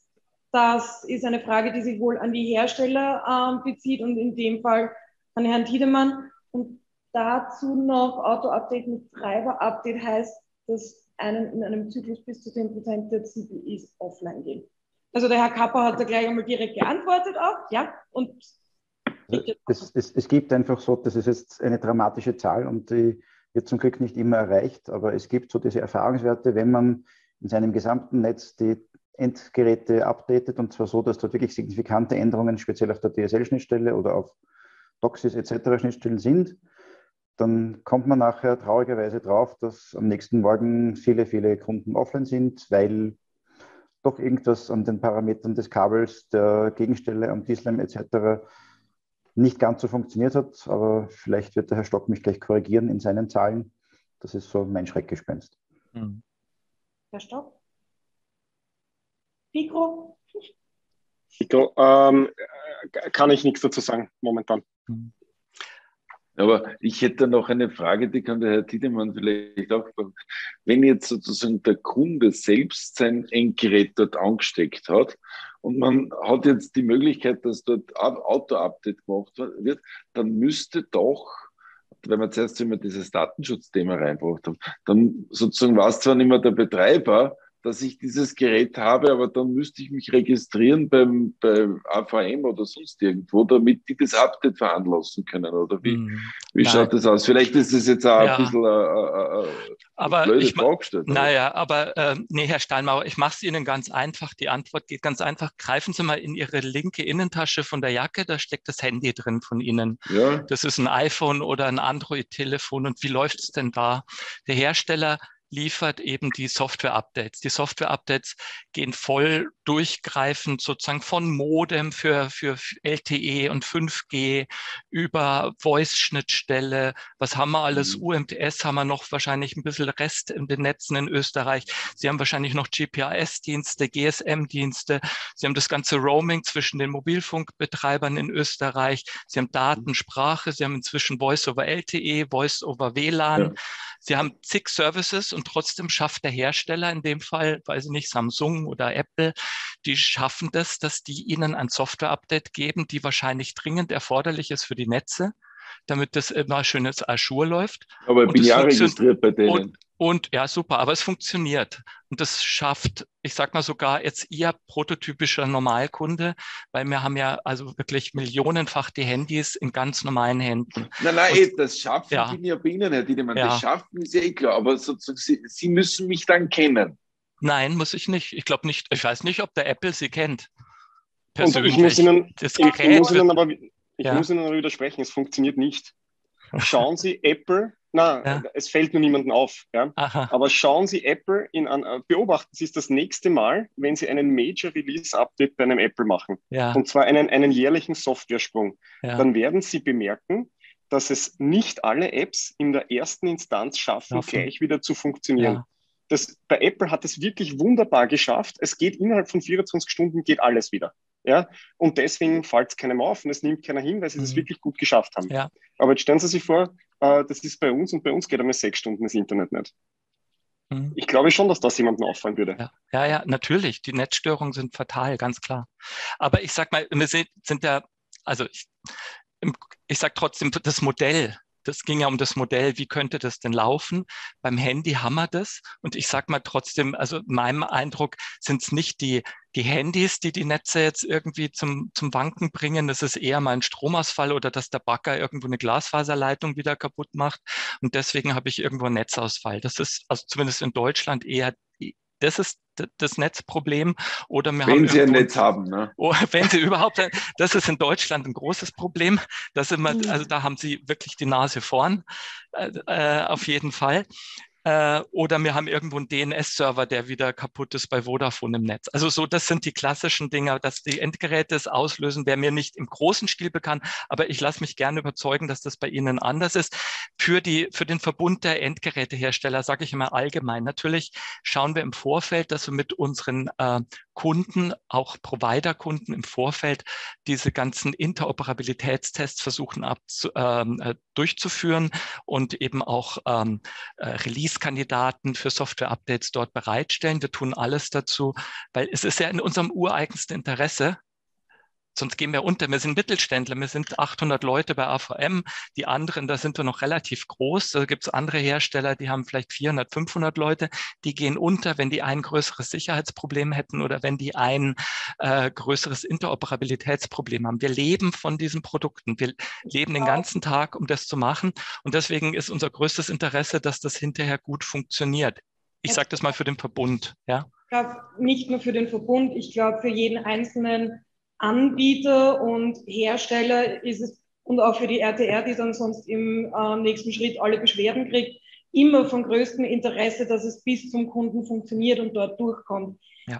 Die Frage ist, und das war, glaube ich, auch heute die ähm, zentrale Frage, wie und worüber kommt es zum Kunden und das ähm, auf dem sichersten und besten Wege auch. Da waren sehr viele unterschiedliche Meinungen und Positionen dabei, aber auch vieles dass der Herr Steinmaurer sich auf die Liste schreiben darf an Punkten, ähm, die noch zu besprechen sind, die zu beachten sind. Wir sind jetzt tatsächlich mit der Zeit am äußersten Rand angekommen und haben, glaube ich, ähm, so ziemlich alles von Leitungen, ähm, Geräten, Verantwortlichkeiten und ähm, Zukunftsvisionen besprochen vor allem, dass Glasfaser jetzt wirklich einmal den Turbo kriegen muss bei uns und wir sehr mobilfunkverwöhnten Kunden uns auch wieder ans Festnetz Internet gewöhnen dürfen, vor allem an Schnelle. Ich danke Ihnen allen. Ähm, ich würde sagen, wir sind zu einem guten Schlusspunkt gekommen. Gibt es noch etwas, was ich absolut vergessen habe zu erwähnen? Gibt es noch eine letzte Wortmeldung? Dann danke ich ähm, Ihnen. Ja, Herr Giesig. Ja, ja, also ich, ich, ich wollte kurz vielleicht noch, um, um, um, den, um das mit dem Begriff Routerfreiheit noch einmal abzu, äh, abzuschließen. Ich glaube, wir waren uns alle relativ einig, äh, Routerfreiheit äh, ja, es kommt nur mehr auf gewisse kleine Details an. Ähm, ich ich möchte meinen Standpunkt nochmal kurz äh, zusammenfassen. Routerfreiheit auf, auf einem Service-Level in, in der Hinsicht, dass ich selber äh, das Internet als, als Service durch mein eigenes Kastel äh, entsprechend verwenden will. Ja, die soll es absolut geben. Bei, äh, bei den niederen technischen Details da kann man gerne Abstriche machen. Also es ist nichts, da, nichts dagegen zu sagen, dass ich dann auf einem unteren Level noch einmal ein Kastel dazwischen habe, da, wo der Provider mir vorschreibt, den, das musst du haben, damit es technisch funktioniert. Aber auf einem oberen Level, auf, einer, auf einem High Level möchte ich einfach, äh, weiß ich nicht, meine, meine eigenen äh, Services ins Internet bringen, äh, die Services im Internet freier nutzen können, ähm, wie das jetzt eben auch schon äh, geht, wenn man entsprechende Boxen anschließt und ähm, das, das wäre für mich eben quasi die, die, die Vorgabe, die, äh, die man äh, dem Gesetzgeber und auch der Regulierungsbehörde dann quasi weiterreichen muss und, und sagen muss, bitte schaut, dass das so funktioniert. Das wäre mein, mein Schlusszusammenfassung. Ich glaube, on a high note, wie man so schön sagt, ähm, ein schöner Schlusspunkt. Ich danke auf jeden Fall allen ähm, Gesprächsteilnehmern die sich trotz der tropischen Temperaturen hierzulande ähm, bereit erklärt haben, ähm, ihren Nachmittag mit uns zu verbringen. Vielen Dank auch nochmal an die Digital Society, die uns alle an diesem Fleck auch über mehrere Standorte zusammengebracht hat und wünsche noch einen wunderschönen Abend. Herr Ilsinger.